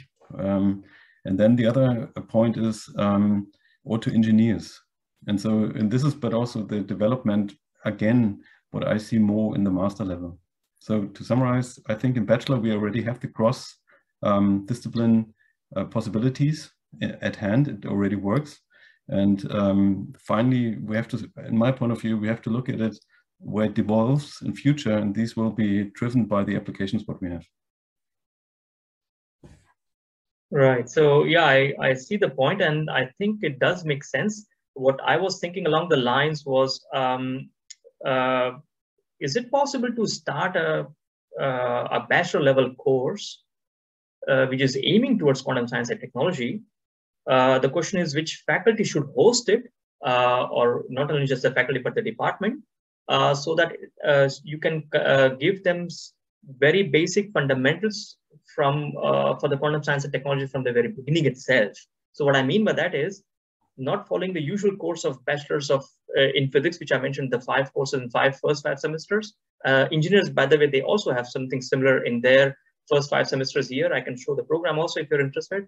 But then the question would be, I if you want to create a bachelor at the quantum science, so that bachelor is not particularly linked only to physics or to electrical engineering or to material science or to chemistry or to uh, computer science and so on and so forth, right?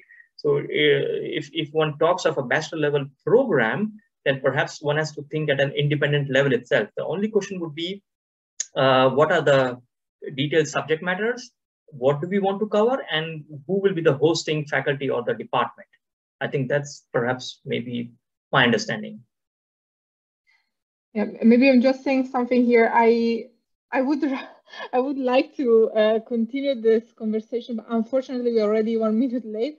So uh, I don't know, Alex, if you want to add something very briefly. Otherwise, I will. Yeah, maybe you can continue the conversation. Uh, I apologize for late. I apologize no, don't worry. No, it's it's very interesting conversation. I rather not uh, cut it to be honest, but I just uh, I just have to. Um, so thank you everyone. Uh, a special thank you to the four speakers. And now we will go on with our last 10 minutes together before the game, the break and the game.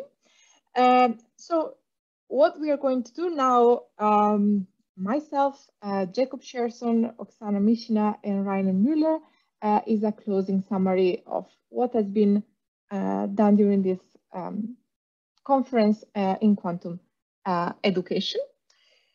Um, is everyone here? I'm not sure. I think so. I see, yeah, Rainer, uh, Jacob was there and Oksana as well. So probably we want to start um, from schools and outreach. Uh, Oksana? Just to summarize.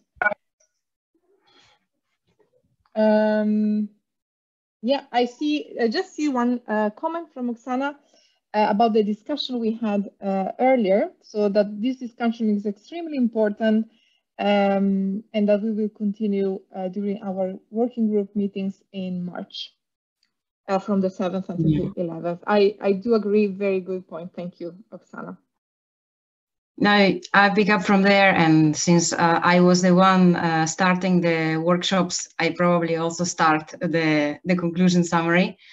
And uh, from first of all, thank you uh, to all of you for this amazing uh, flow. I think we have had inputs from so different levels, which was uh, general level, the level of uh, hard effort with pilots, and the level of very deep insight from some specific efforts. And this uh, made uh, a very complete and, and nice uh, perspective on how much we we already have in the community. Thank you all, all the presenters uh, for these efforts.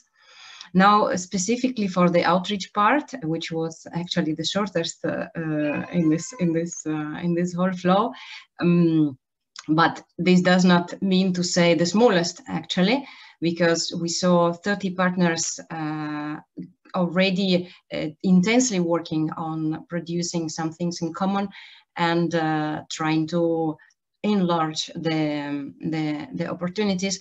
But the important key point that was underlined many times is that outreach is not something standalone, but it's also a very important component to engage upfront those who will then be learners of a deeper education so that uh, these are important at all levels, a part of the general public standalone, but uh, the school students have to be motivated and engaged by outreach to start studying. The bachelor students have to be motivated and engaged to start studying masters. The master students should be motivated and engaged to maybe involve themselves in a, in a internship in the companies and so on. So this motivating and engaging part in times of games and some other interactive activities is starting to penetrate in most of the education programs and this is fantastic.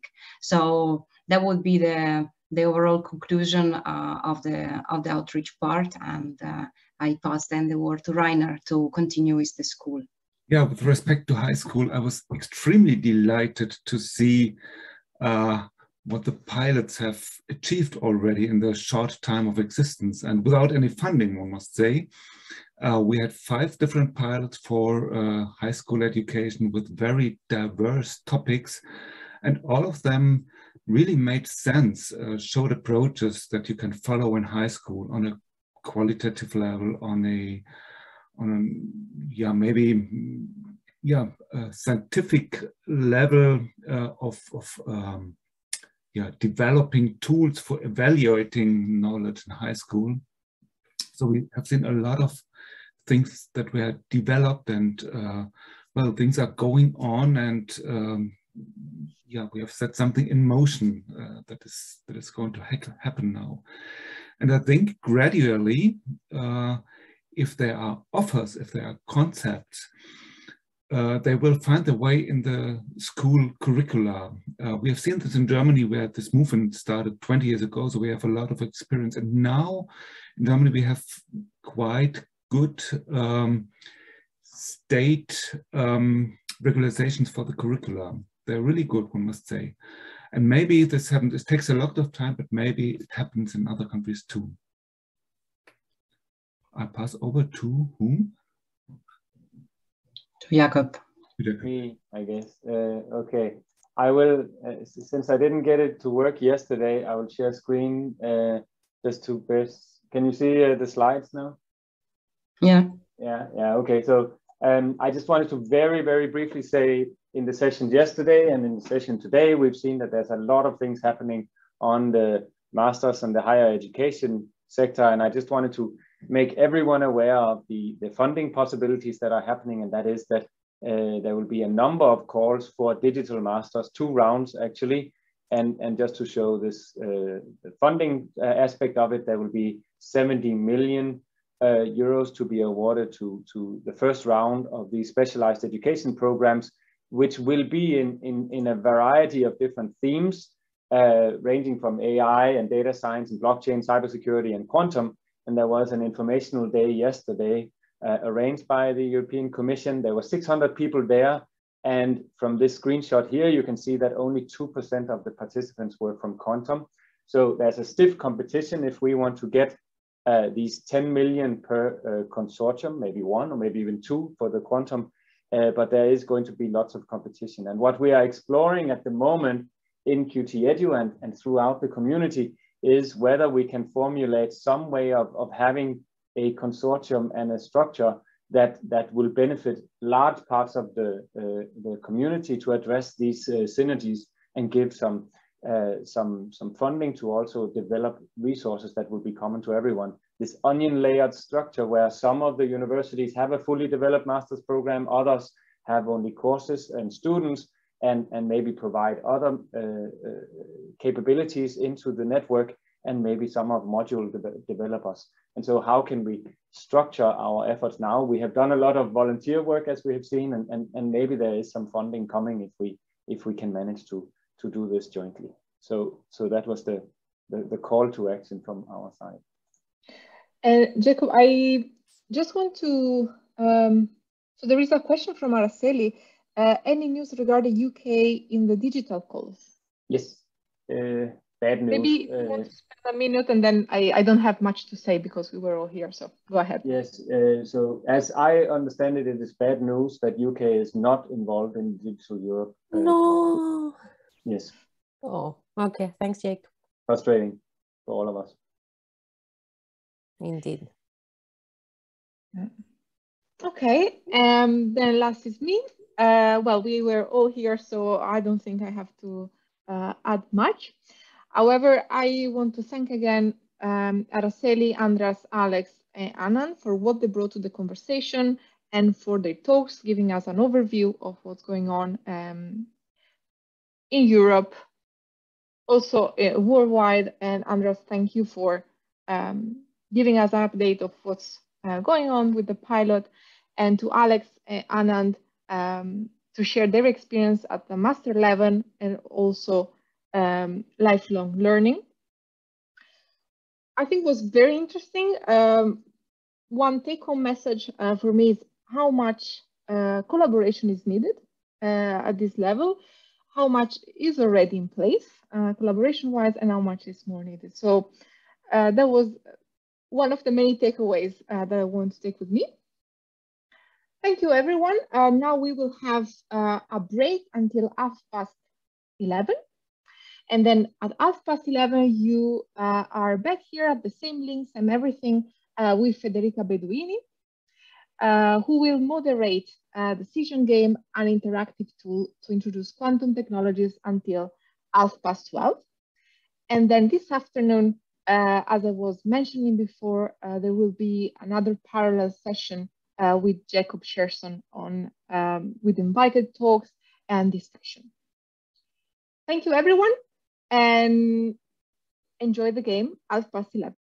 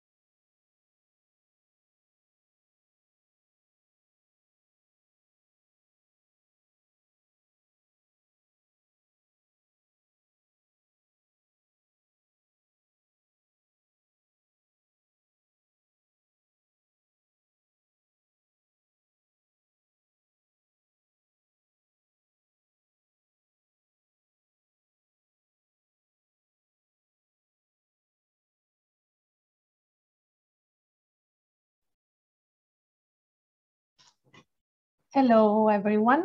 Uh, I am Federica Beduini, as Grazia introduced me before the break, and thank you everyone to to to stay connected after the break.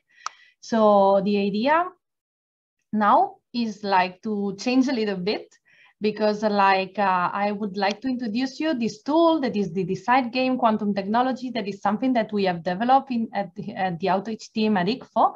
Now I will tell you a little bit more about it. And so the idea is to start a little bit to give you an overview of what we do at ICFO uh, in the outreach uh, part of, in related to quantum uh, sciences and technologies, and then going through explaining you like a bit, little bit the details of these group activities, uh, exactly the decide games that is aimed to engage people who have never been in contact with quantum technologies and to discover their potential. And and also i would try to do it in a like i think the best way to discover the decide game is to do it actually so there will be and the, in the middle of the of this workshop a moment where you will be distributed in breakout rooms so that you can talk to the other participant and experiment like a little bit of the taste of what uh, uh, decide game it is really like and so uh, i will I will start. And so I, I, am, as I said, I am I'm working now as a, as part of the outreach team at ICFO. ICFO is a research center located in Castelldefels, that is near Barcelona. And ICFO, the name comes from uh, the Catalan acronym for Institute of Photonic Science. This means that we are a research center that we use photons to advance the knowledge in this field. And we, we use it, we use photons as a versatile tools and to like explore many different aspects of science. For example, we work in, in at the interface with between light and matter. We work in ultra fast science. Uh, we are developing, we are understanding better the application of light for energy and environment. We are also working in the field of bio nanotechnology and medical photonics, exploring and developing new advanced and quantum materials, but also and especially uh, for this occasion, it, uh, we work a lot on quantum science and, te and technologies. Just think that like half of the research groups of ICFO are working in some kind of quantum research. And that's why we have a large portfolio of outreach activities dedicated to quantum science and technology. And I would start like to give you like a little bit of taste of the different activities that, that we do. Um, I would start with the like uh, a thing that is more or less in line of what you have heard in the first part of this workshop, where they were talking a lot about attracting uh, talented young people uh, to to the like future like workplace of uh, that there will be because of these emerging quantum technologies. So also we are doing something like this. Um, ICFO is being coordinating a European project called Carla that is like aiming to um, build career camp for early career scientists who are interested to enter the photonics world. And then we are building another quantum, I mean, another Carla camp dedicated to early career scientists who want to discover and enter into the world of uh, quantum science and technology. And then we'll be uh, in coming up next year, hopefully in person on, on April 8. So if you also, if you want to learn something more about it, then we can talk about it. And, but all the other things that also I would like to talk to you are more like they're directed to the general public in general, to not only to uh, create interest in quantum science and technologies to attract people to this kind of uh, careers, but also we are interested to just engage people in general uh, to, to see what can quantum technology, when quantum technologies can offer to uh, society at large. So really like uh, trying to reach all kinds of uh, sectors of society, not only the people who would like to work in quantum technologies. So that, that's why you will see quite different things of what we have talked like in the workshop before.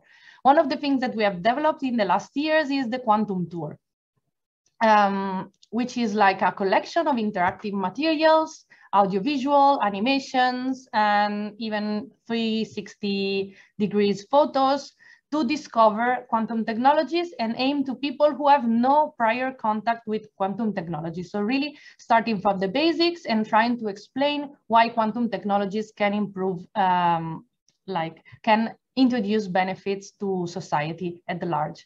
And you can try to browse this platform that is available in English, Spanish, and Catalan uh, through this website, quantumtour.icfo.eu. Um, also, we have been uh, coordinating and creating the Big Bell test in 2016, which was a citizen science experiment. So we have involved citizen, again, with no prior knowledge about quantum physics, to participate in a quantum physics experiment. Actually, there were like 12 quantum physics experiments, 12 cutting edge quantum physics experiments happening all around the world from Chile to Australia, really crossing the whole globe. And they were like receiving real time data generated by people. So I don't know if you're familiar with the Bell test, which is a, like a very, very landmark experiment in quantum physics, who need, which needs uh, random numbers to be realized. And so one of our PhD students, Carlos Abellan, who now is a CEO in a spin-off, uh, quantum related spin-off that is called Quside, that actually um, um, produces a random number generator based on quantum physics. But at the time, at the time he was working during his PhD on these quantum random number generators.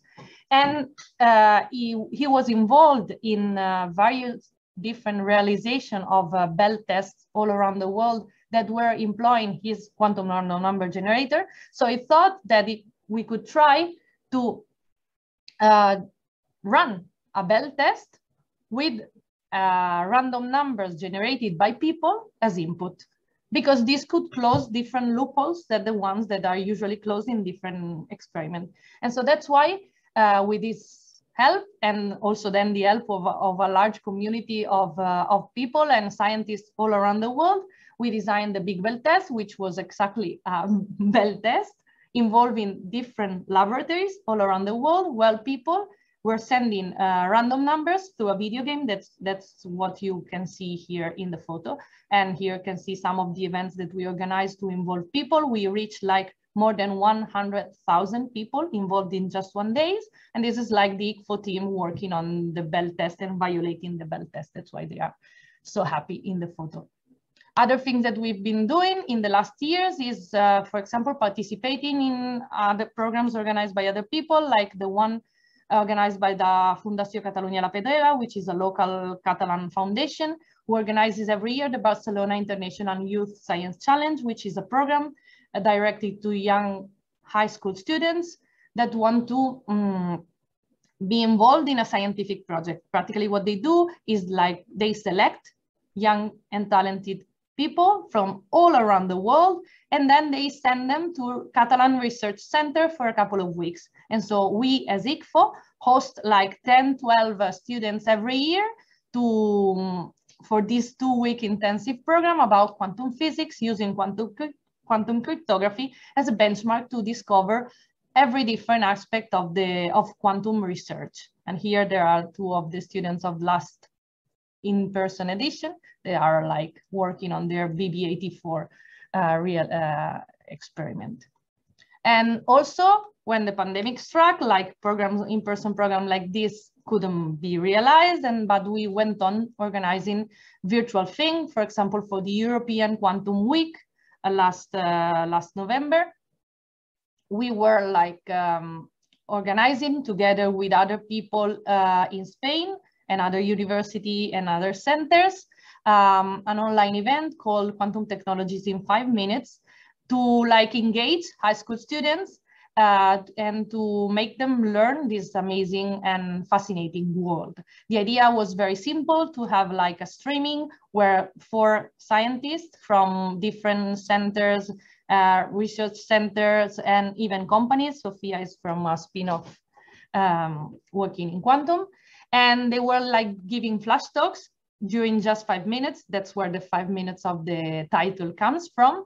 And they were like talking about the work and their experience in quantum. And then most of the events were was then a roundtable where the where the students were launching their question through the chat and then the panel would answer. And they were like they ended up to be very, very lively discussion and involving more than 1,000 students. That's why last, uh, like uh, a couple of weeks ago, we organized another one together with the Barcelona Institute of uh, Science and Technology, uh, again, talking about quantum in five minutes, again, directed to high school students. And it's been, again, very, we, we got, again, a large participation again.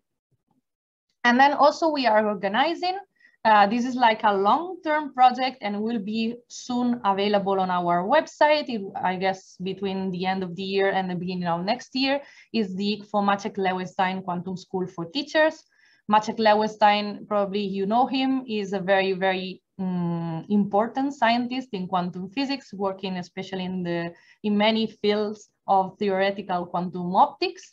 And he, he received one prize for his work some times ago and decided to donate uh, the prize to develop like tools for teachers. Some, some people in the panel before said that it's very, very important if you want to reach uh, the young generation to reach the teachers. And that's actually the idea behind this program.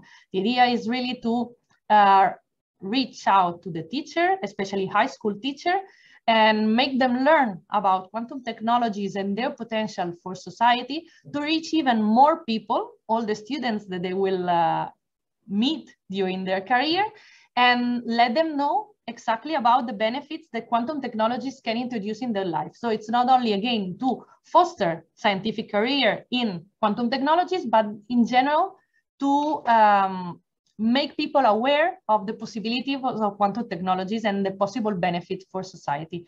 And Dick von Maciek Lewenstein Quantum School for Teachers, uh, it's like a, a, collection on different materials and contents that we developed during the year for many like mm, for example, for the quantum tours or for the Big Bell test, I mean, we, we like put it together like in a nice package. And also developing new material for this. And as again, the idea is to make it available online for everyone to browse in and look at it, but also to uh, organize from time to time, like live session with teacher to like like courses, live courses for them to to get in into this amazing world. And the Decide game, it was designed exactly as part of this one of the first material that we developed thinking about this quantum school for teachers. Uh, it's uh, a decide game. Uh, it's a group activity. So as you can see here in the photo, you, you do it in divided in small group of four to six people. And the idea is that it's a very valuable tool to introduce an quantum technologies in an interactive and engaging way. But it's based on the on the, the dynamics of the Play Decide that I put here the logo, which is a European project that really designed this kind of activities to introduce a new concept, doesn't have to be necessarily quantum technologies, to people who have never heard about it and make them learn about these new concepts in a, in a fun and engaging way. And so we thought that this would be very useful to introduce quantum technologies to this. So that's why we prepare, like we adapted the Play Decide idea for the quantum technologies. And that's what I what I'd like to to like explain you now a little bit about. So the decide game uh, starts giving the participants a question. And this is the question. Knowing that quantum technologies benefit society in many different ways, how many resources would you commit to develop them? This may be a very strange question to somebody who doesn't know anything about quantum technologies. And remember, a decide game is aimed to somebody who doesn't know anything about the topic or a little bit. No, doesn't that doesn't you don't need to be an expert to participate in the decide game. And so people sometimes are like a little bit surprised, but the really the idea of the decide game is to give all the tools for the people during the activity to reach a final decision at the end of the activity. So the idea is that a decide game is not your typical scientific activity for school or for people in general because you don't you're not making an experiment and you're not uh, attending a conference with a lot of technical content but it has uh, very very good like let's say advantages because because of this structure uh, it allows to um, develop uh, also like transversal skills that are very important and are very like valuable, for example, for teachers who want to introduce it in school, but for people in general. And also it makes it like attractive also for people that are not naturally uh, mm, curious towards science. And so, like, as I said, it develops like transversal skills, like, for example, teamwork, because you have to work in groups of four, six people. It develops critical thinking because you're receiving a lot of information that is new and you have to choose yourself what is the information that is more relevant for you and for the group to attain your final goal, that is the decision. And also you have to share the information with the rest of the group because we will see later that everyone in the group has different information. So the, the main activity during the decide game is to share information between the participants. And so you also have to be good at communicating stuff with your, to your peers.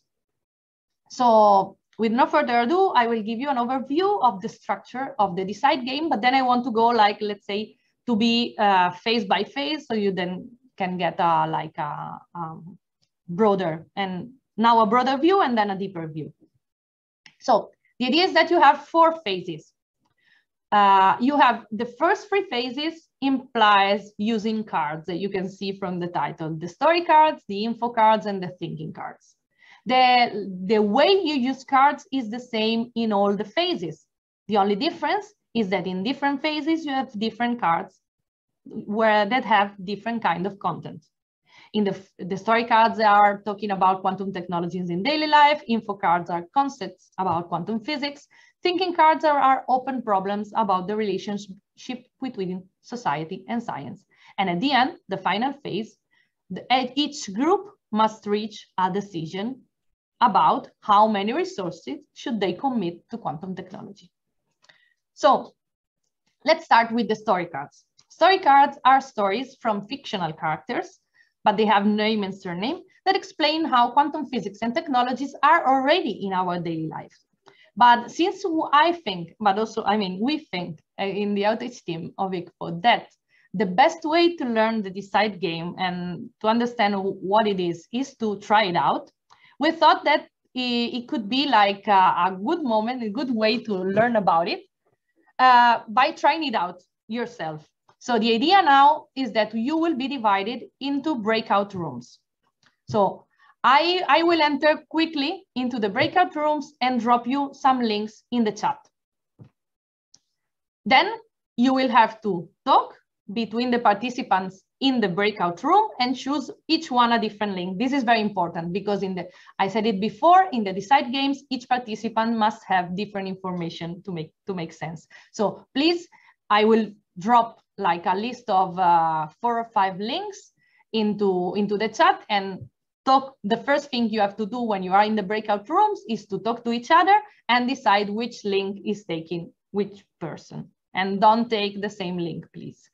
And then what you have to do is to read the first three cards. They are they have all the word story cards and they have blue background like this slide. You first thing you read them individually and then you comment one, you choose one and you tell them, I mean, you, you tell uh, the content to the other people in the breakout rooms. So as a summary, you enter the breakout room, you choose one of the link, talking with your peers, then you read individually the first three cards with a blue background, and then you choose just one to comment it to the other people. This will take approximately 10 to 15 minutes. So I will leave you there in the breakout rooms. I will send you messages to remember to remind you how much time you have left. And then we will meet you. We will meet all again here in the in the main room. So just give me one second so that I can um, divide you in the breakout rooms. Remember that if you have any problems, there in, in the breakout rooms, there is like a, an icon with a question mark that is on the top left. And there you can uh, reach out the technical host that can help you in case you have any problem. Okay, so just give me one sec to set up the, the breakout rooms. And okay, like this. Uh, okay, so see you in, uh, in like 10, 15 minutes. Thank you.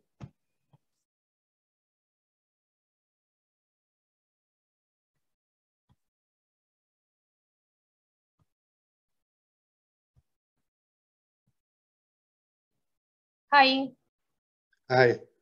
So I, I, what, what we understood is that we have to um, live ourselves into a persona and we discussed that a bit and that's about it, right? Or should we, should we do more? Uh, yeah, just choose one and share the information about the others. uh, yes, with the course. others. Yeah, you have already Yes. finished? Yes, I think we- first it was fairly clear. Our, our Okay. role was, roles are fairly clear. Cool. So the idea Uh, was just to have a, a taste of what, what it is like. So just Uh-huh. give me one second so I can tell also, I guess the others also uh, will be about to finish. So I will send an announcement that in a minute I will close the room so they won't be too much too worried about their coming back. But yeah, the idea was like just to let you try what it is because I think it's a lot easier to understand than I mean, we won't do it for all the cards because there's no time, but just uh, at least you now have the experience of the dynamics of the activity. That then it repeats like this for all that kind of cards. I'm very impressed so far. I'm very impressed. I like it a lot. Thank Oh, cool. I'm so happy. Okay, I'm about to close the rooms.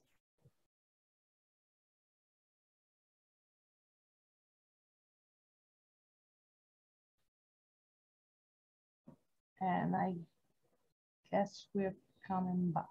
Okay, no, like 30 seconds or something.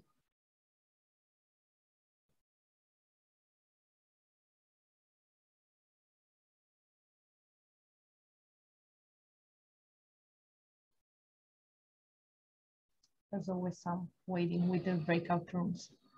But the cool thing is that we can do it also online, right? Like this.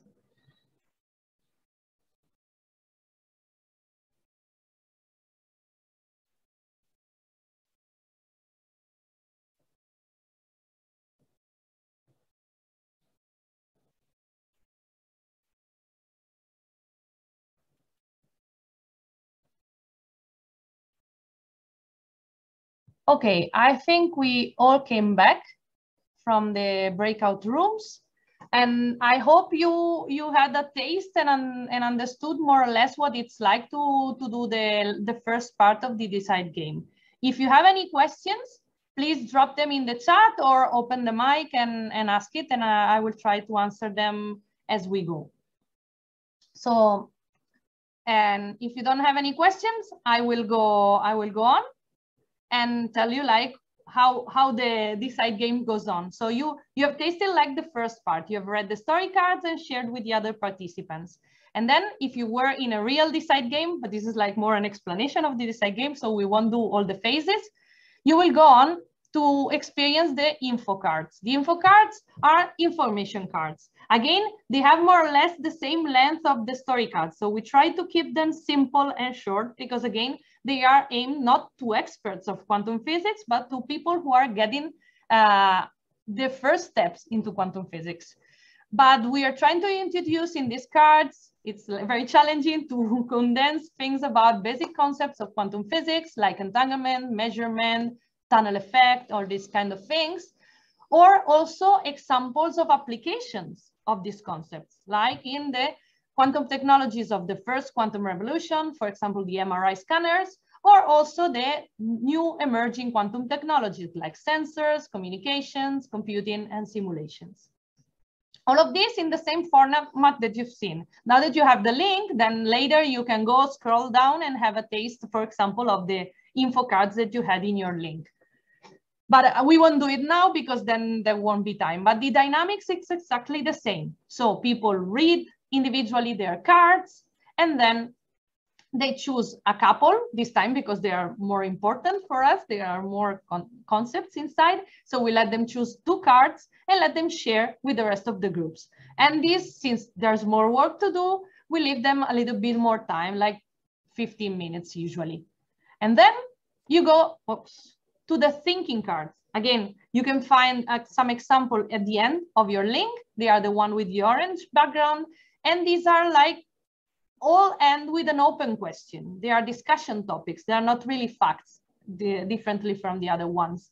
And they are about the relations between science and society. That's, that's a very nice part because here is where people that maybe were a little bit skeptical at the beginning because they are this kind of people, students or people in general who are not really happy, let's say, about science, this is the part where they engage more because these are really open problems that are also societal problem. Like, for example, and also kind of a philosophical questions like, why do perceive quantum physics as difficult? Or is it possible to judge the future of impact, uh, uh, the future impact of emerging technologies? This is in general, like, I don't know if you asked, they asked, for example, the IBM director, I think, in the in the 50s, like or 60s, I don't remember exactly, like what he thought was the future of computers. And he said that it really didn't think, I mean, the IBM director didn't think that the, the computer were something that, that were going to be of really common use. There were be, going to be some very, very special apparatus. And now we know that we have them all in our houses. So even people that are very expert, it, for them, it's difficult to judge the future impact of emerging technology. And this is like one of the discussion points, example of discussion points that are present in the thinking cards. So again, for this phase, they have different, each participant has different cards and they just have to choose one and share it with the rest of participants. So you can see that during the whole part of activities, people are continuously talking with each other. So it's something that is really engaging and they cannot get bored because they have continuously to go and talk to their to their peers. And then at the end, they have to come as uh, to do a decision, as I said before, no, because this is a decide game. We have to decide. Again, it's a collaborative game. There's no competition. We don't have to. Nobody wins, but we have to collaborate uh, with each other to take a decision. Uh, one thing that we make very clear is that time and resources are limited, as in real life. So they have to decision to make this decision to allocate resources to quantum technologies, knowing now with all the activities that we've done before that can bring very nice advantages to society at large. And so the question is, how many resources would you commit to developing quantum technologies? Remind them that this is not an individual decision. They have to reach an agreement among the group and that we remind them always that there is no right or wrong answer. And so the idea, we, we provide them with four options. One is the, you can find them also at the end of your link. So if you want to look at them like uh, more thoroughly, but in summary, one is to say, one option would be saying quantum technologies are the future. We must put all the resources that we can to advance as fast as possible uh, to, to reach and apply quantum technologies in our life. That's the first one. And I guess most of you, since you are in the EQTC, would choose this one.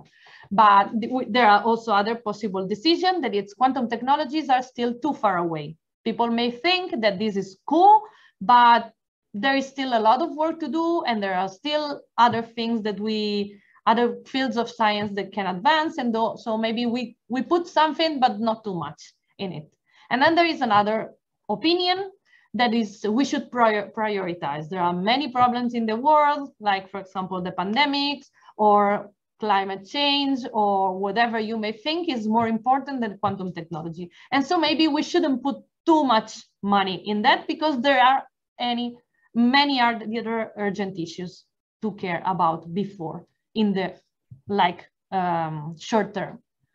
And then another opinion is we should boost basic science. So, okay, quantum technology are very promising, but we know that to advance in technology, you first have to have very, very nice foundation. So first we should put more money in there. And then later when we have a nice foundation, quantum technologies will arise, let's say naturally.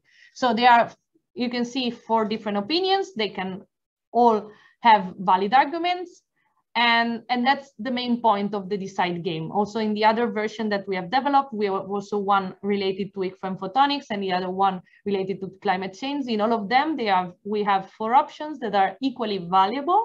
And, and that's like the fun of it, that each group reaches a different decision because like people are like this we all have this we live in the same world we see the same things but then we have different opinions and different priorities in general. And that's the, the like the, the beauty of this activity that again involves uh, in this part uh, again transversal skills that are very appealing again for uh, for teachers for example that maybe Uh, for other activity that you may think about, they may be reluctant to introduce them into their um, their day-to-day -day activities because quantum physics is not in the curriculum right now. So they don't, they can't lose time talking about things that they are not in the curriculum.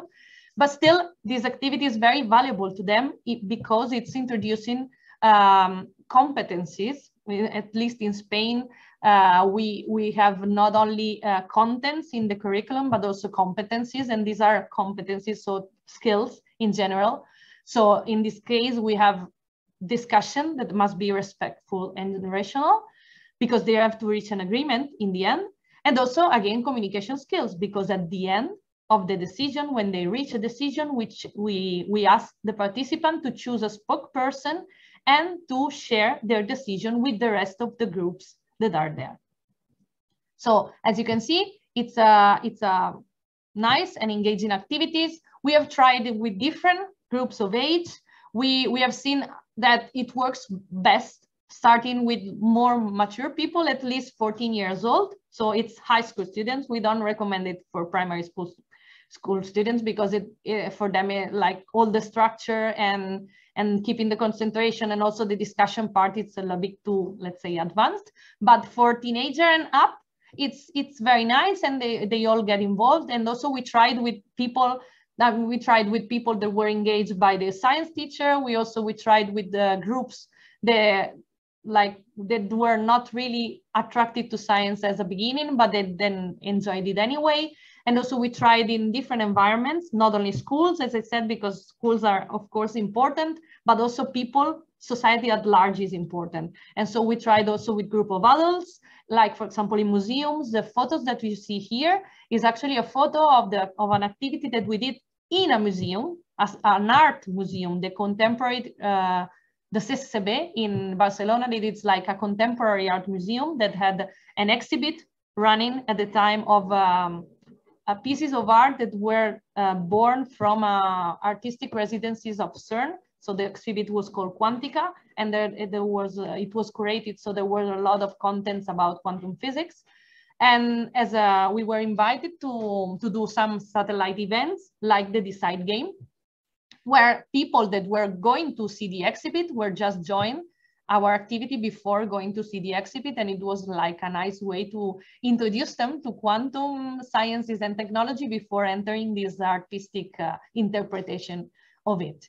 And we did it also in libraries and we're doing it online right now because it's difficult to get together uh, with many people right now. But as you can see, you can easily do it also online because it's a very, very flexible tool as I, as I said, we can do it in person online because you can do it with physical cards as, you, as you've seen in this photo here, or you can do it with the cards already online. We have these links where we have already shuffled the cards. So it's more or less as you have your own deck already in your hand. And, and also it's scalable because participants work in small groups. So you can easily do one workshop for 10 people or for 50, more or less the, the work is the same for very, very large group, you, you need uh, more moderators because then it's uh, really too many groups to, to take care of. But for 10 to 50, to 50 people, one person can do it easily. And we're doing it also, as I said, online. And for schools, what we do is that we add the, the, the extra value that is talking to a researcher also during the process. So we add like a phase that is meet the expert where they can meet online with uh, one of our scientists and chat with him or her about their work and what it means to be a scientist and, and so on and so forth. forth. And, and that is more or less what I wanted to tell you about. And yeah, you can find it online in the in our website that is outreach.icfo.eu in the part of resources for teachers. And also you can contact me and the rest of the team at outreach.icfo.eu, uh, outreach.icfo.eu in case you have any questions. And also you can find us in social media, LinkedIn, Instagram, Twitter, and Facebook as ICFOnians. And also I see that Hank has some questions. Do you want to just open your mic? Yeah, yeah, yeah. Please. Well, it, it was it was on the on the mechanism of the game yeah. actually. And so we we we set apart in uh, in in uh, rooms and we discussed it a bit, and we um, well, we are all part of uh, a group that uh, that well definitely needed funding, but is there in the game uh, also um, uh, a counter role? I, I, mean, I like the collaborative part, but mm -hmm. if we on ourselves decide, uh, well, we need money for this, mm -hmm. we end up with a lot of money. Uh, but is there also a counterpart? Like, for instance, there's a limited budget, or there's a there's also a budget claim of healthcare or something like that. Uh, yeah no i mean we don't we don't really say how much money or it's not really defined yeah.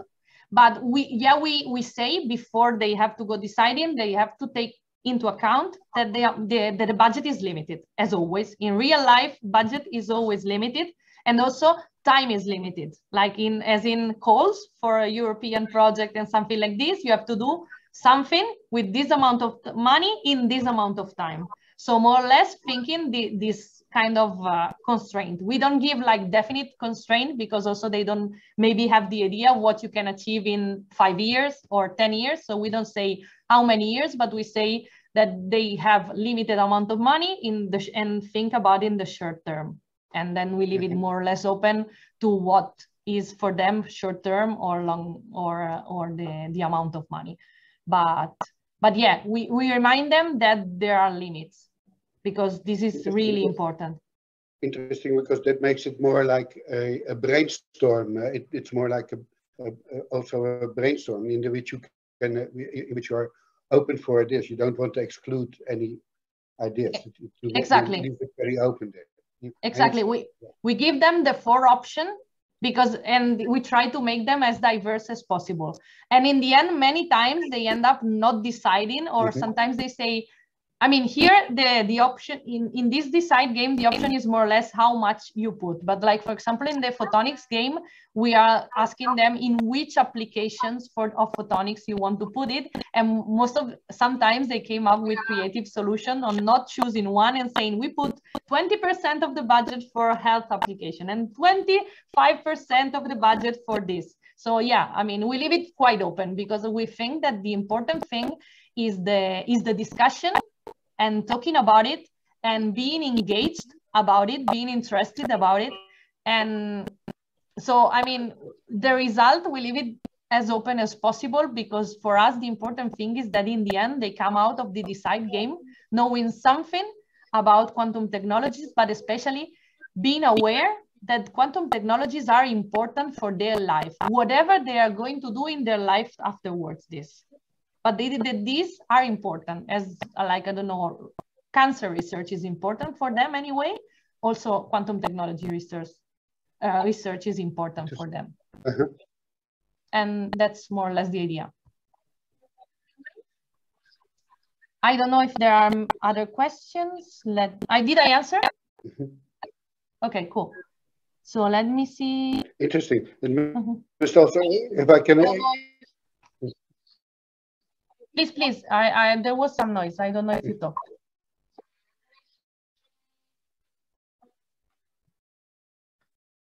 Okay. I see that Olga is saying that she needs some more information to try to play the decide game with the students. I think it's it's okay.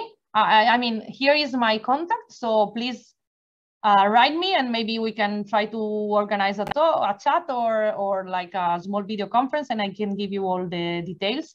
But I mean, you can already find it in the website, uh, but also we, I'm happy to, to give you like some more detailed information so that you, you are more happy with that. And exactly, Daya is saying that Lydia, that was is my one of my colleague that was also in the game, in the today in the workshop said that it can be downloaded and use it, of course, giving proper credits to ICFO because we put a lot of effort in it. Uh, couldn't find how to download the game. The idea is that is in the uh, in the Outreach website uh, that is uh, in the resources for teachers part, and then there is the link to download it. But if you have any problems, just write me and I'm happy to share it with you. And okay, Okay, so more or less our other comments. I don't know if you have any any more questions. If I may say, because yeah. I downloaded what was found in that link and it is only a three page instruction. Yes, but in the free page instruction, on the second page, there are the links. There is the Ah, paper and okay, digital. I see. Okay.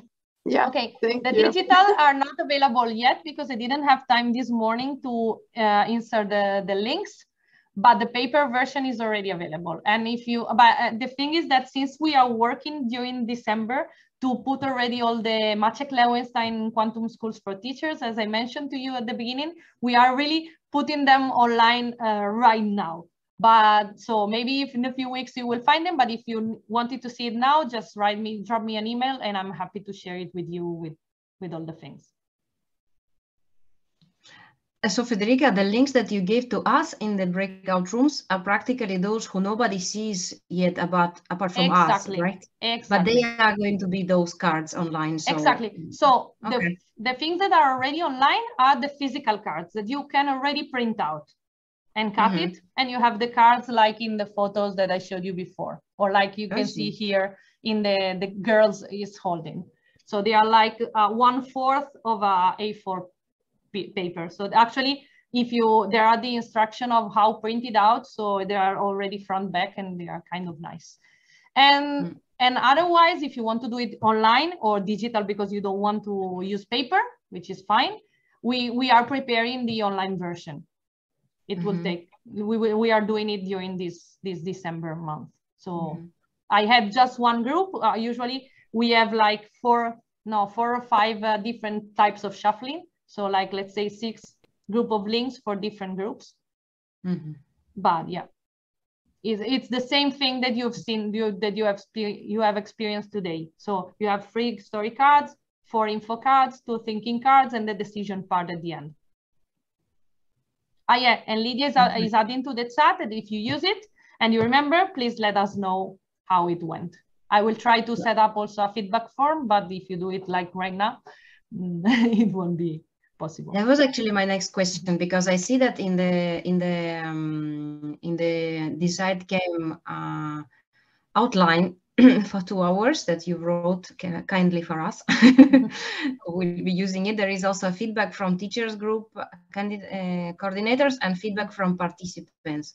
So Mhm. it means that you have already collected some and you have Yes. some statistics Yes, about I it. have I have collected it from uh, uh, so this is I have collected it since we are doing the online thing, but it was mostly for the um, photonics decide game. So the content is different. The dynamics is the same because uh, I said it really briefly, but we have other two versions of the decide game, one with photonics content dedicated to photonics and ICFO, and one dedicated to climate change and the application of photonics for the climate uh, change and environment and, and so on.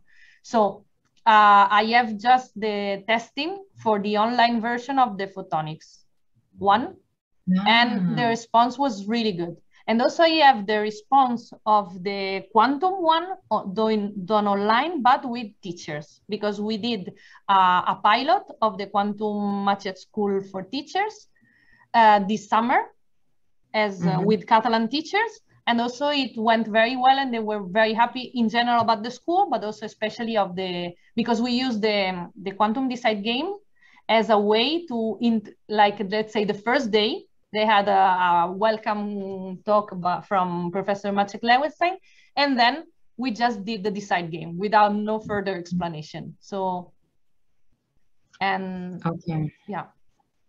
Hank is asking about being translated the game. Uh, I think it's okay. We we have it in Catalan and Spanish, but I, I'm guessing that you're you are in another location. It's not right now online in Catalan and Spanish, but since we are in Catalonia, we we always provide things in Catalan, English, and and so we, we can talk about it and and see how how to do it.